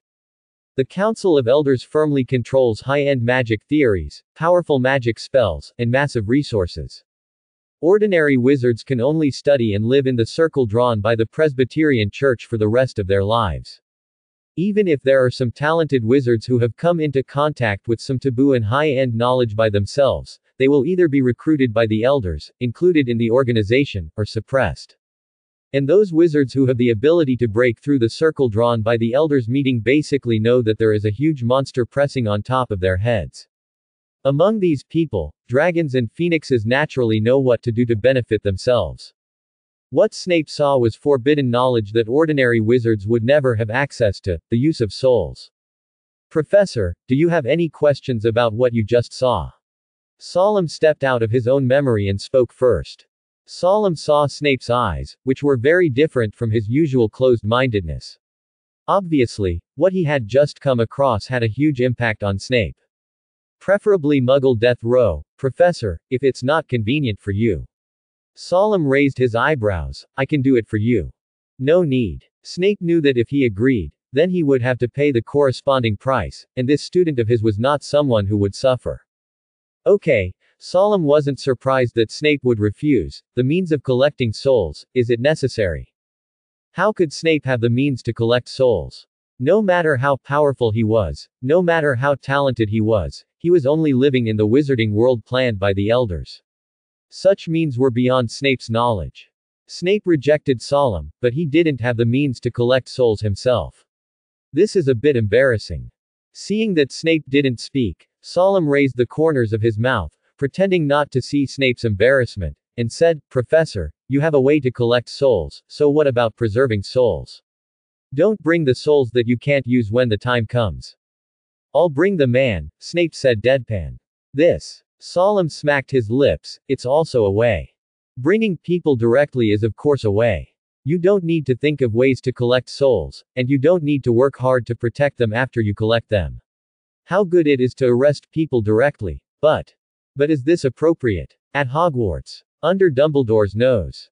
Solemn didn't care, but Dumbledore's attitude had to be taken into consideration. That bad old man wouldn't allow someone to do something like that in his school, take the soul of an innocent person, and use that soul. Even if you talk about breaking the sky, such evil behavior cannot be washed away. Who said you have to be in school? Snape looked at Solemn with an idiot's eye. Yeah, why do you have to do this kind of thing in school?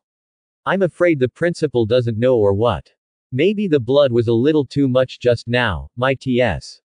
Bah. I'm not clear headed yet. Solemn rubbed his nose in embarrassment, then get ready, I'll let you know when I get the stuff. Snape thought for a while, and asked, Your book only explained how to use souls, but why do you need souls? Although Snape was a wizard who liked, no, it should be said that he loved black magic. But he also has his own bottom line. He has wanted to ask this question for a long time. After listening to Snape's words, Solemn thought for a moment before opening his mouth and said, First of all, I want to explain that for some wizards, the soul is actually a very common spell-casting material. Of course, Professor, you know that I am definitely not talking about ordinary wizards. Let's put aside the topic of the soul, Professor, let me ask you a question first. How many ways are there to communicate between wizards, excluding face-to-face like we are now? Snape looked at Solemn with emotionless eyes and said nothing. He was extremely displeased with people like Solemn talking around. If it was Dumbledore, he was a big boss anyway, so what are you pretending to be like, a brat like me? Fortunately, Solemn quickly realized his mistake. He was not teaching Hermione and Neville a lesson. What he was facing now was his dean. Going back to Solemn's question just now, apart from face to face, how many ways of communication are there between wizards? The most common way is to send letters through owls. If possible, you can also use the fireplace, grab a handful of Flow powder, lean half your body over, and you can talk to another person in front of the fireplace. If you are more wealthy, you can using a double-sided mirror. In the eyes of ordinary wizards, the double-sided mirror is a tall thing, equivalent to the Big Brother in the 1980s and 1990s. Members of the Order of the Phoenix can also communicate with the headmaster himself through small notes made by Dumbledore. Of course, the Death Eaters had a similar method, and that was the dark mark branded by Voldemort himself. However, except owls that rely purely on physical strength to communicate across space, the rest of these methods rely on magic to eliminate the influence of space. Flow powder itself contains magic power. When the magic power is exhausted, you can either eat a mouthful of furnace ashes, or grab a handful of flow powder and throw it in when the magic power is almost exhausted. Double-sided mirror. This relies on the magic power of the wizard himself. One wizard outputs magic power to the double-sided mirror, and the other matching double-sided mirror will respond, so the two wizards in different places can communicate. When one party stops the magic power output, the connection built by the double-sided mirror will be interrupted. The communication between Dumbledore's note and Voldemort's dark mark also uses magic to overcome spatial obstacles. Break the barrier of space, let two people communicate as if they were face to face. Whether it's a fireplace, a double-sided mirror, or something else, wizards do this by expending magic. Muggles are the same, whether it's a phone, a computer or something else, they all use electricity to achieve the same purpose. But this is the communication between living people, or in other words, it is the communication across space by consuming energy in the same dimension. But there are some subtle differences in the communication between the living and the dead.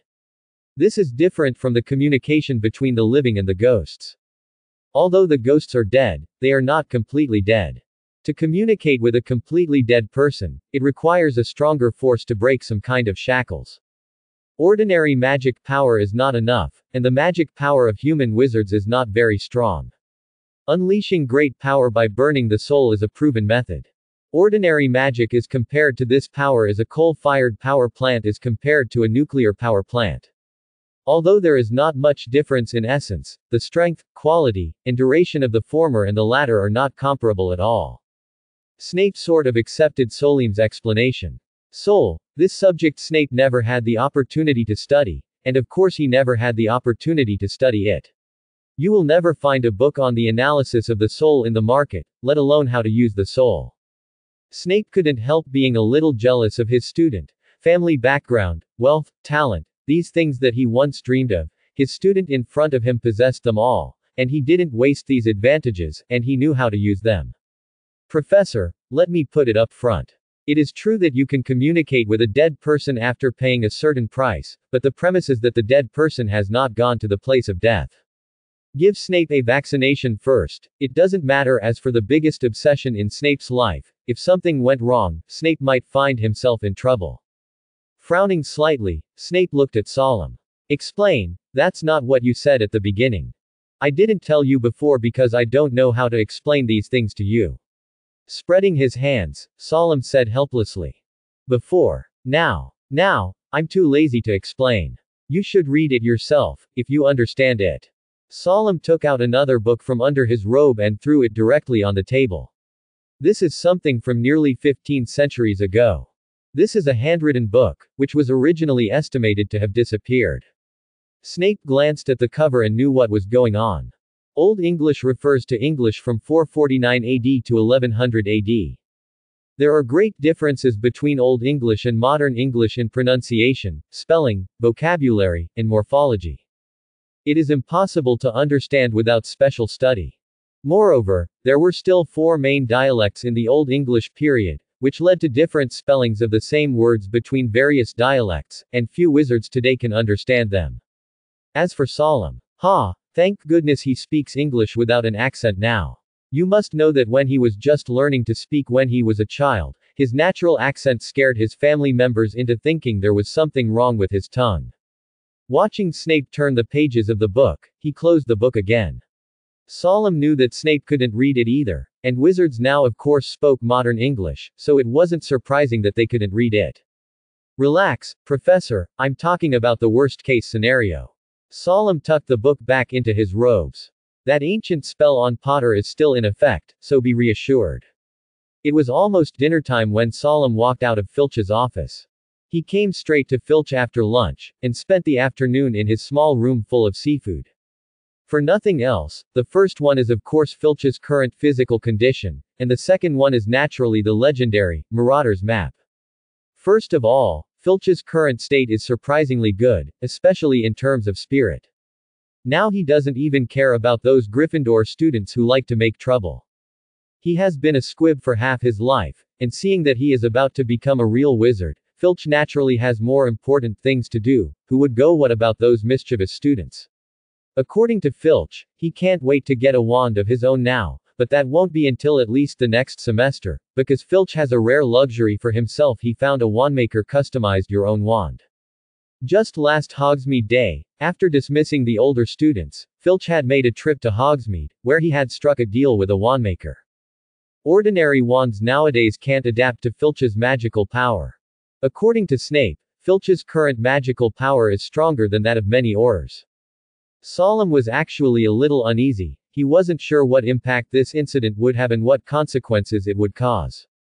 Filch wasted most of his life at Hogwarts as a squib, watching those little wizards waste their talents and time, while he was just a squib who wanted to become a wizard so much. How does this distorted emotion affect a person? And it's not that some people don't do evil, but they don't have the power to do evil. Solemn didn't know what was going to happen to Filch, but at least for now everything looked fine.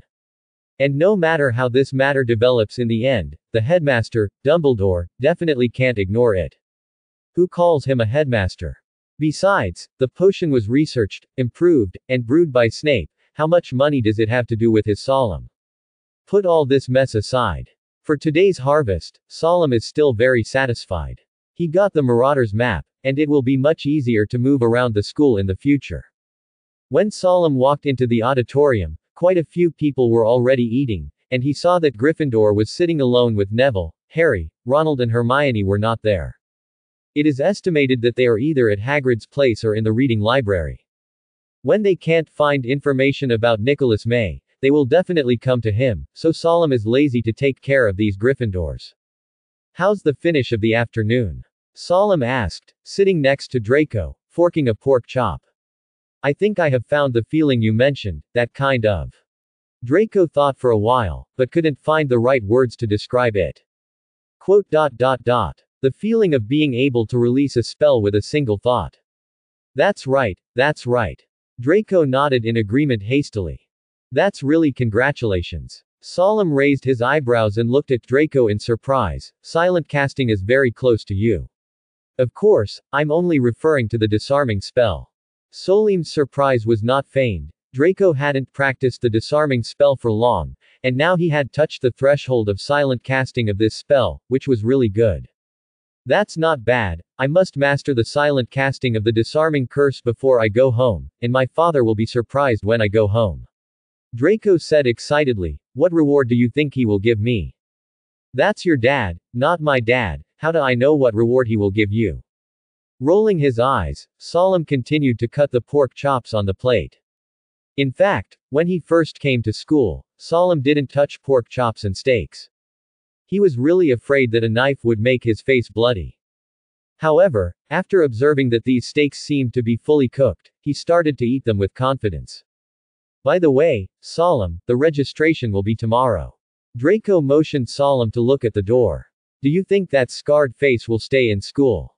Glancing at the trio who were walking towards the long table of Gryffindor, Solemn said indifferently, You don't care if they go back, but take care of yourself. Draco has no major problems, but he likes to show off, and people who look down on him like to retaliate. I said, Are you in a hurry? Do you have any serious conflicts with him? You might as well practice your spells if you have time to find fault. Solemn wondered whether to let them fight and vent. After eating, Solemn and Draco walked towards the small classroom. Draco wanted Solemn to give guidance, and Solemn waited for Hermione to return the book. The two had been in the small classroom for less than five minutes when someone else entered, four of Gryffindor's men. Draco looked at Harry and Ronald in disgust, but said nothing. Several people came in and looked at each other, and finally Hermione spoke. Solemn, I want to ask, do you know Nico? Nicole. Solemn didn't know why, but suddenly wanted to continue. And his hands showed signs of being out of control. Huh. Several people asked questions, not knowing what Solemn was talking about. Hee hee, don't worry, you guys want to ask Nicholas. The three nodded quickly. I do know Nicholas Flamel, he is a very famous wizard, even muggles know his name. But we searched the library all afternoon and couldn't find any information about him. Hermione was a little hysterical, and it was the first time she left the library empty handed. I think the books you are looking for are all modern books, so of course you won't get any information about Nicholas. Solemn said that you are all in the wrong direction, and it is a ghost if you can find it. Nicholas Flamel, what is the first thing people think of when you mention this name? Draco. Solemn motion to Draco. The Sorcerer's Stone. Draco sneered at the Gryffindor group. What? Based on the idea that you guys also want to play the Philosopher's Stone. Okay, Okay, Solemn said quickly, before they would have to fight again. The Philosopher's Stone, this is a top alchemical product. With it, you have gold and immortality. Nicholas Flamel and his wife are over 600 years old. It is the Philosopher's Stone. Quote.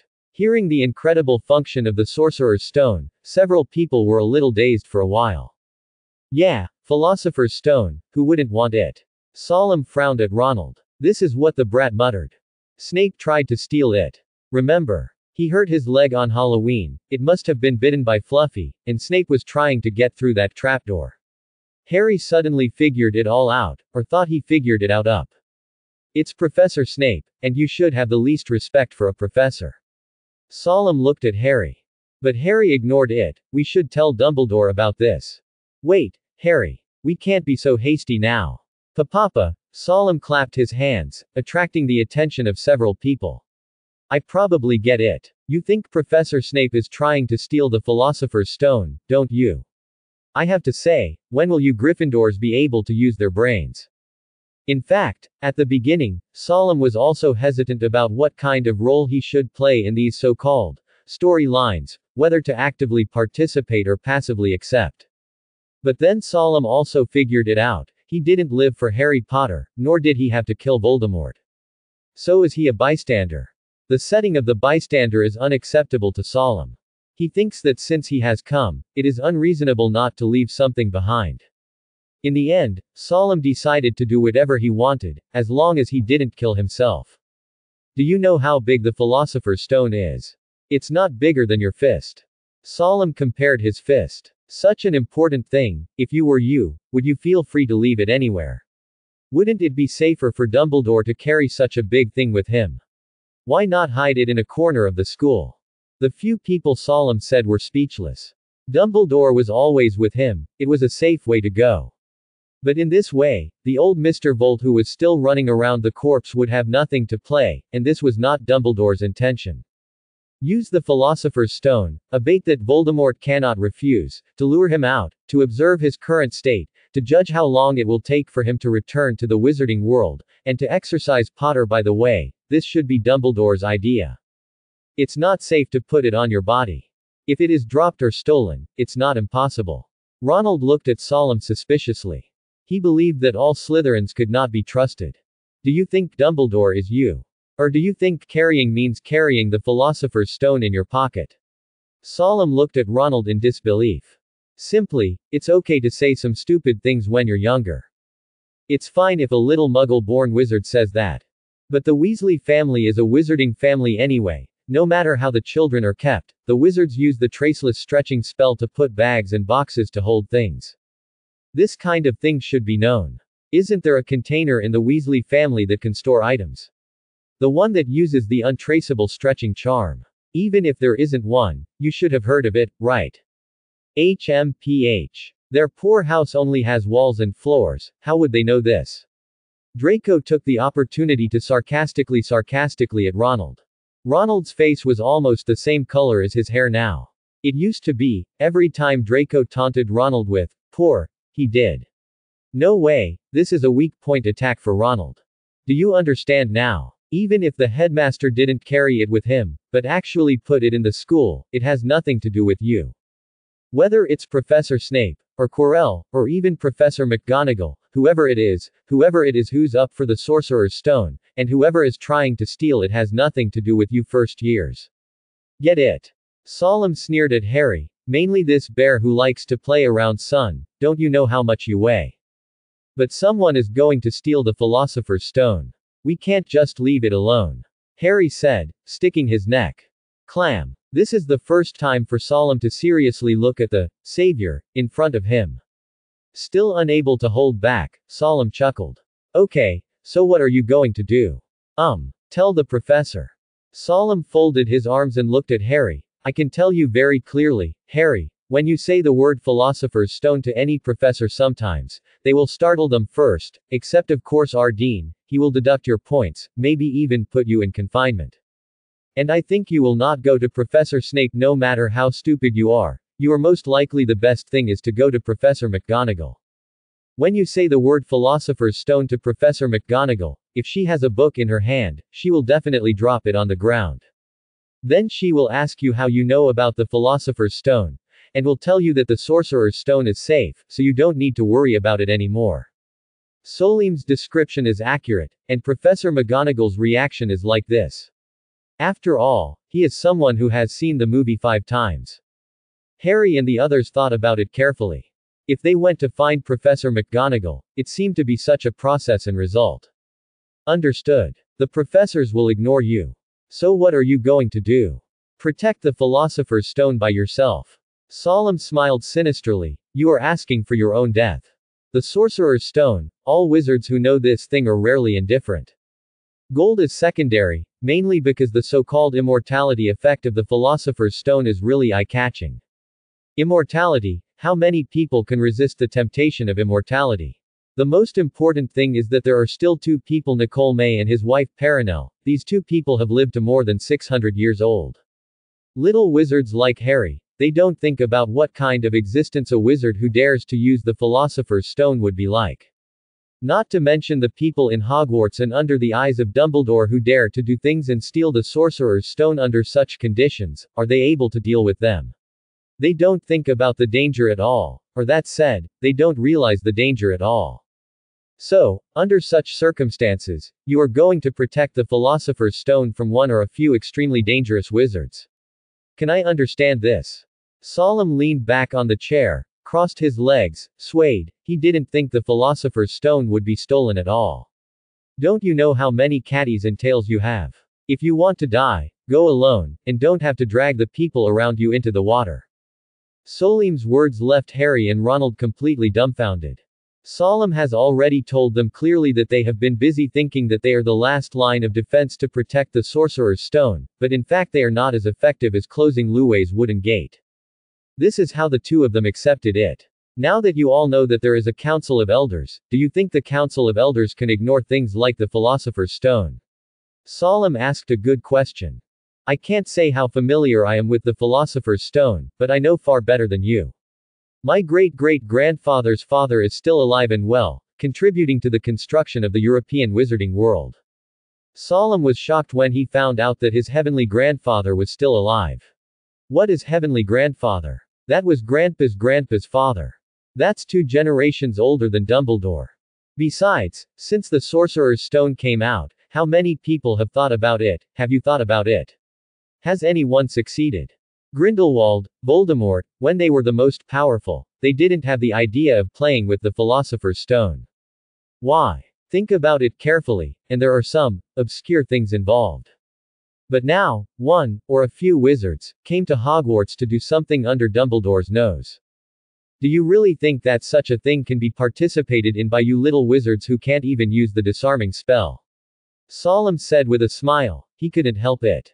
This feeling of beating others is indeed very attractive to Solemn, and sometimes Solemn himself is not sure whether the people staying in Skull are a bit perverted. Okay, okay, if you want to play the game of protecting the treasure, go ahead and play it, don't worry, someone will take care of it for you. Solemn waved his hand, as long as you don't really fool around with the idea of playing the Philosopher's Stone. Quote. The Philosopher's Stone thing, Solemn admits that he has a little bit of a thing for immortality.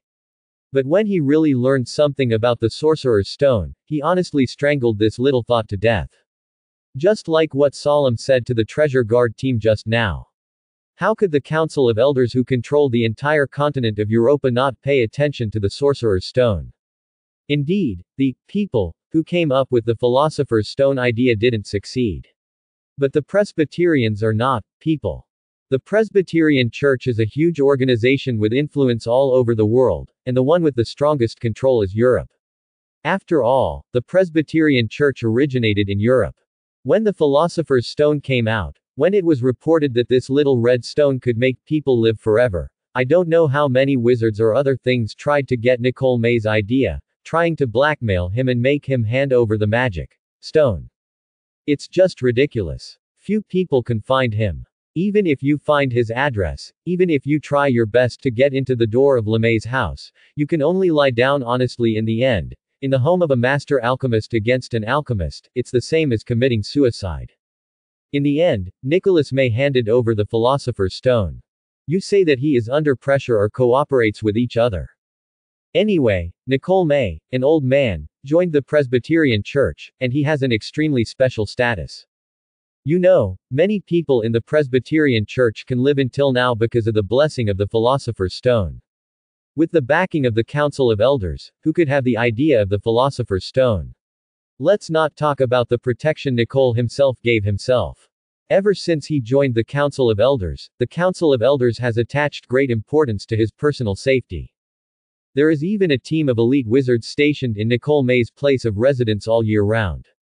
Of course, it is hard to say whether it is protection or surveillance. And the birth of each philosopher's stone will be recorded by the Council of Elders, who will be assigned to use this philosopher's stone, and which team will be responsible for escorting it. Just like the armored vehicles, there are strict procedures every time. As for the reason Solemn dissuaded him, it was the process of preparing the philosopher's stone. Alchemy, to put it bluntly, is transformation. Transformation of one substance into another. When a person lives until he dies, he is consuming one thing, life force. The philosopher's stone keeps people alive by replenishing the user's vitality. The problem is that there is currently no way to convert something like vitality. It's like transfiguration, you can turn a chair into a cake, but you won't be full after eating it, and you won't get nutrition. This is the GAMP rule. And when the magic power applied to the chair is exhausted, the cake will turn back into the chair and burst your stomach. Since vitality cannot be transformed through other substances. But how does the philosopher's stone replenish life force?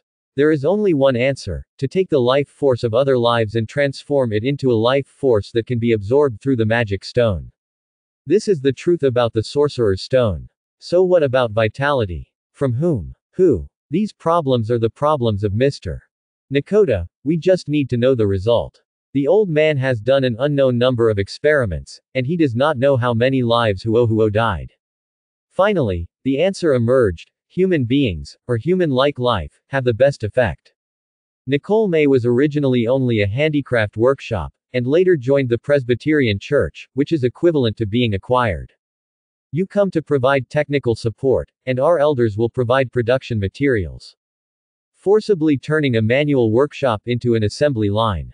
Of course, it is an exaggeration to say that the assembly line is an exaggeration, but the efficiency and yield rate are much higher than Nicholas Flamel's previous one. But here comes the problem.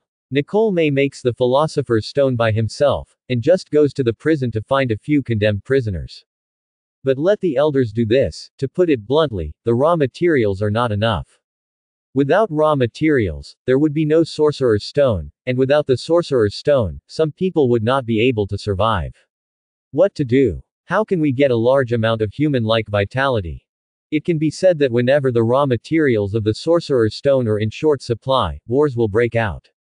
Then the raw materials are enough, and the war is over. Solemn does not think he is a good person, he also admits that in order to survive, life will always kill another life, like the dead bodies of all kinds of life being served on the table, these, solemn he accepts, and for tasting these the living corpse is still enjoying it. However, just wanting to live on, and using the sorcerer's stone to achieve the goal in order to live on, this is something Solemn can't accept. Solemn has always believed that a person can be evil and do all kinds of evil, but he cannot live without a bottom line. To say a bad street saying, if a person has no bottom line, he cannot be called a human being. But the fact now is, some wizards choose to eat people in order to survive. A hard-working office worker is exploited by the vicious capitalists every day. Indeed, this can also be said to be a kind of cannibalism, but it is not as naked as the philosopher's stone. When Solemn knew these things about the sorcerer's stone, he decided, even if he was dying of old age and was pressed on his neck by the scythe of death, he would never use the sorcerer's stone. Okay, you can do whatever you want. Solemn waved his hand, ready to send everyone away, but I still want to remind you once again, you can play your treasure hunting game, but don't play it. The idea of the philosopher's stone. Although it is impossible to succeed, I still remind you. Although Solemn himself has not seen the Sorcerer's Stone with his own eyes, he can guess that the Sorcerer's Stone that Nicholas Flamel gave Dumbledore is probably not the full version, and it can be used once or twice. Although Nicholas Flamel's status is special, the Council of Elders controls the Philosopher's Stone very strictly. Nicole may have given Dumbledore a castrated version of the Philosopher's Stone, which already reflects Nicole's status. Watching Potter and Weasley's group walk out the door of the small classroom, Draco took Neville to the next door to practice the disarming charm. Solemn looked around for no one, and pulled out the Marauders map he'd gotten from Filch. I solemnly swear that I have no good intentions. Pointing his wand at the map, Solemn spoke the password. Looking at a personal name that appeared on the originally blank parchment, lines appeared one by one. Solemn knew that many places at Hogwarts had opened up to him. Solemn saw the names of Harry Potter, who were moving in the corridor, and also saw the names of Draco and Neville marked on the map outside the wall. Similarly, the self next door to them will of course appear on the map. But when Solemn saw himself on the map, all the muscles in his body tensed up. What's going on? Solemn screamed frantically inside. On the place where Solemn was supposed to be on the map, a strange thing appeared. An ink blob was shaking irregularly, as if trying to form some letters, but every time it was about to become a letter, it scattered again. Solemn's nose flared and his brow furrowed. He doesn't understand what's going on. The maps are good, that's for sure.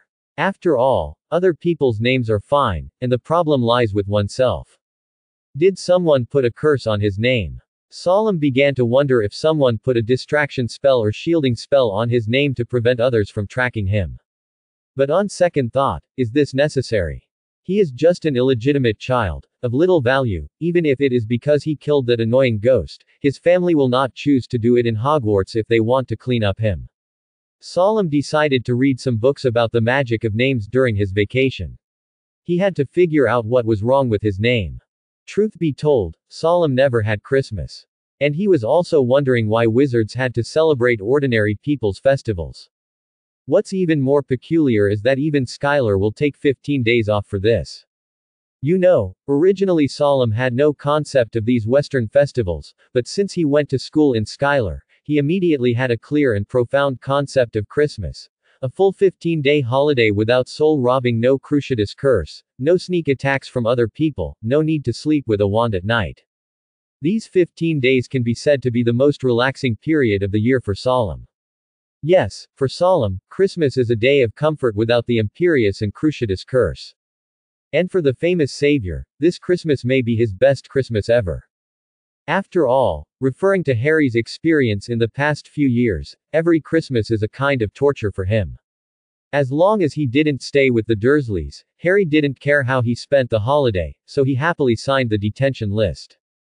But he's not alone, his best friend, Ronald and his two, um, three older brothers will stay and spend Christmas at Hogwarts. It's not about looking after Harry of course, it's just that their parents are going to Romania this Christmas to visit their son and older brother, Charlie Weasley. While Harry and Ronald were wandering the empty school, Solemn was back at Selwyn Castle, he wouldn't call it home. Selwyn's castle is located near the Isle of Man, and is hidden by magic. Passing ships will actively avoid it, so as to avoid being discovered by ordinary people. The island called Nistor by the wizards cannot be found on the maps of ordinary people. In Greek, Nistor means unknown. After all, this island is only open to people from the Selwyn family, and very few people who are qualified to come here. So for most wizards, everything here is unknown. Solemn is not very familiar with this place, because he spends most of his time in the castle learning theoretical knowledge and practicing spell casting.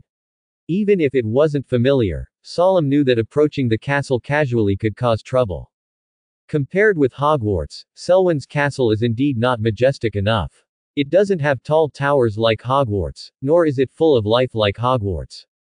If you let an ordinary person who doesn't understand magic look at it, Selwyn's castle is definitely a standard template for the headquarters of evil creatures in fairy tales, even on a sunny day, the light will not shine on the castle even though the country of Ying it's rare in hell that it doesn't rain, but there are always sunny days. The whole castle seems to be in another world, the sun will hide from the castle, the light will not shine on it, and compared with the bright colors around the castle, the castle itself is like a black and white photo dead and lifeless. And this is the place where Solemn lived, a castle that one would instinctively want to stay away from from a distance. And he will continue to live here until Solemn is able to protect himself. Solemn stands in front of the statue at the intersection. This statue is the first patriarch of the Selwyn family. The base of the statue is densely engraved with his life story, and such statues line both sides of the road leading to the castle. They are all well-known wizards from the Selwyn family, whether they are villains full of crimes, great men who have made outstanding contributions to the wizarding world, or strange people who are dedicated to studying and studying magic. Regardless of good or evil, as long as it is Selwyn who is well known in the wizarding world, their statues will be placed on both sides of the road. Selwyn has been passed down for a long time, which leads to one thing. There are more and more statues, and the road to the castle is getting longer and longer. This road full of statues is enchanted, it will not become crowded because of the increase of statues, it will only get longer and longer. It would take 30 minutes to walk to the gates of the castle if it was long enough to walk on two legs. Sitting in the carriage, Solemn looked at the statue outside the window, but what he thought about was how to sneak into the basement unknowingly after returning to the castle. Not only did his cheap father's family live in this castle, but several of his uncle's families also lived in this castle with them, adding up to nearly 30 people. If counting the wizards with foreign surnames who passed the family test and joined, there could be more than 50 people. Barring those alien wizards, Selwyn could count on one hand who could give Solemn good looks. Solemn is unwilling to come back here. The environment and history here have created the dark wizard in the eyes of most ordinary wizards. And these people are almost all his relatives, and most of them are from Sigil. So the way they greet each other is kind of scary. Give you a Cruciatus curse or Imperius curse when you're not looking, they call it a joke. Indeed, it is no big deal for a wizard who can graduate from Skylar to suffer from the Cruciatus curse. Everyone has long been used to the Cruciatus curse. As for the Imperius Curse, huh, it is simply wishful thinking to use the Imperius Curse to easily control a wizard who graduated from Skull.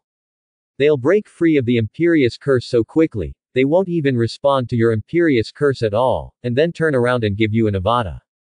After all, more than 10 years of experience in Skylar has given these wizards amazing resistance and immunity to the Cruciatus Curse and Imperius Curse. Most of these relatives of Solemn are a little bit out of order, that's normal. Whether it is the atmosphere of the Selwyn family or the environment of Skylar, if it can create a normal wizard, it is called abnormal. And these, abnormal relatives are not exactly friendly to Solemn. The grown-ups disdain to speak to Solemn, and if they do speak, it is some extremely ugly and strongly insulting language, and if Solemn's grandfather is present, they will restrain themselves. But the peers who are about the same age as Solemn are not so restrained. It is common for them to pull out their wands and attack Solemn in the castle. They take pleasure in bullying and making fun of Solemn, and they never get tired of it. Of course, they held back a bit after Solemn took out a nuisance at school in a black glove duel. But it was just not hitting him with the wand anymore. Oh, Solemn, are you back? At the sound, Solemn's body relaxed, he was about to draw his wand. Cheetos. Oh, yes, I'm back. Reluctantly. Solemn shrugged. A white, somewhat transparent figure emerged from the side wall. It was a ghost. Compared to people, Solemn gets along well with the ghosts in the castle. Of course, there are also a few ghosts who are very disgusted with the identity of Solemn's illegitimate child. These ghosts in the castle were all surnamed Selwyn during their lifetime. In other words, these ghosts in the castle were the ancestors of the Selwyn family. Be careful, Adelaide and his brothers are very excited to hear that you are coming back today. Let's go from the number 3 laboratory. There was no one there when I just came here. After finishing speaking, Cheetos just floated ahead of Solemn and led the way. How's life at Hogwarts? Cheetos asked. Not bad, no, it's good. Even when he was walking, Solim's left hand was always ready. Yeah, no matter where it is, it's better than that shitty place. Cheetos can be regarded as the most compatible ghost with Solemn, which probably has something to do with his experience. Cheetos also used to be a student of Sculler before his death. Saying, used to be, is not because he is dead now, but because Cheetos was expelled from school that year, which resulted in him not graduating from Skylar. As for the reason for the expulsion, Cheetos didn't say anything, and Solemn didn't bother to ask. Elrond is in his kennel, Go yourself, I won't go, said Kiddo, and disappeared through the wall. Elrond is Solim's grandfather. Among all Solim's relatives, only his grandfather and his sister Serna are sincerely good to Solim. But Solim's grandfather, Elrond, has an embarrassing position in the family. Elrond's two brothers, Lesutu and Breed, both of them are great wizards, great wizards like Dumbledore and Voldemort. Lesutu is the leader of the Dangerous Placement Committee directly under the Presbyterian Church, while Breed is the head of the Logistics Department of the Dangerous Placement Committee. Many elders in Solemn work under these two men. Look at Elrond again. He is not a great wizard, although he is much stronger than ordinary wizards, but in the eyes of a family like Selwyn, so much time and resources have been wasted, and he is not considered a great wizard at this age. Wizard, this talent is simply an embarrassment to Selwyn. Elrond's father and grandfather sometimes returned to Selwyn Castle, Solim's great-grandfather and great-grandfather. As for why these two people can live for so long, is there any need to ask? And these two old antiques are dark wizards in various senses. Although he can't do anything with his family, he will still sneer when he sees the offspring of waste materials. In this way, other younger generations of the family also disrespected Elrond. Although they would not do anything outrageous in person, they chewed their tongues behind their backs. Think about Solim's squib sister again. They have three grandparents, the old one is a waste material, and the two young ones, one is an illegitimate child and the other is a squib. It is not bad that such three people can live like this in a family like Selwyn. Solim's feeling for the other Selwyns was just, no feeling. He only cared about his grandfather and younger sister. As for the other clansmen, they were no different from strangers. Elrond is not good at potions, and he is not good at fighting. Alchemy is so-so. Of course, this so-so can be called a master in the outside world. Elrond's real forte is to solve curses.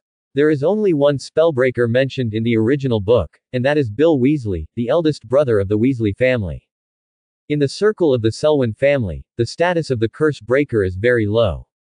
Although every wizard inevitably has to deal with the curse breaker, the curse breaker is looked down upon by these wizards. In Solim's view, this is like the ancient Chinese attitude towards doctors, indispensable, but low status. The role of spell breakers is to crack spells. Their understanding and research on magic lines, spell theory, spells and compound spells far exceeds that of ordinary wizards. They are good at breaking spells, inventing and improving spells. It can be said that the spells used by wizards today are all thanks to the spell breakers. It was Elrond who taught Solemn the fierce flame spell that Solemn used against the troll. Solemn called a house elf to lead the way. It's not that he doesn't know the way, but that there are some magic organs on the road in the basement that need to be temporarily closed. Solemn can't do these tasks now, so the elf can only do it for him. Okay, you can go back, Zim. Solemn put down the box in his hand and was about to knock on the door. By the way, Call Serna over for me, and don't let others find out. As soon as the elf disappeared, the door opened in front of Solemn. Come in, I count the time and you should be here almost. Standing inside the door was an old man in fairly good spirits, with the same black hair as Solemn, but the hairstyle was of the same size, not as long as Solim's hair. As for Solim's hair, for him, he never had the opportunity to grow long hair in his previous life, whether it was at school or at work, but now Solim's hair is just touching his shoulders. Long hair was a novel experience for Solim. Come in quickly, and tell me about your experience at Hogwarts. Thanks for watching, please subscribe and support our channel.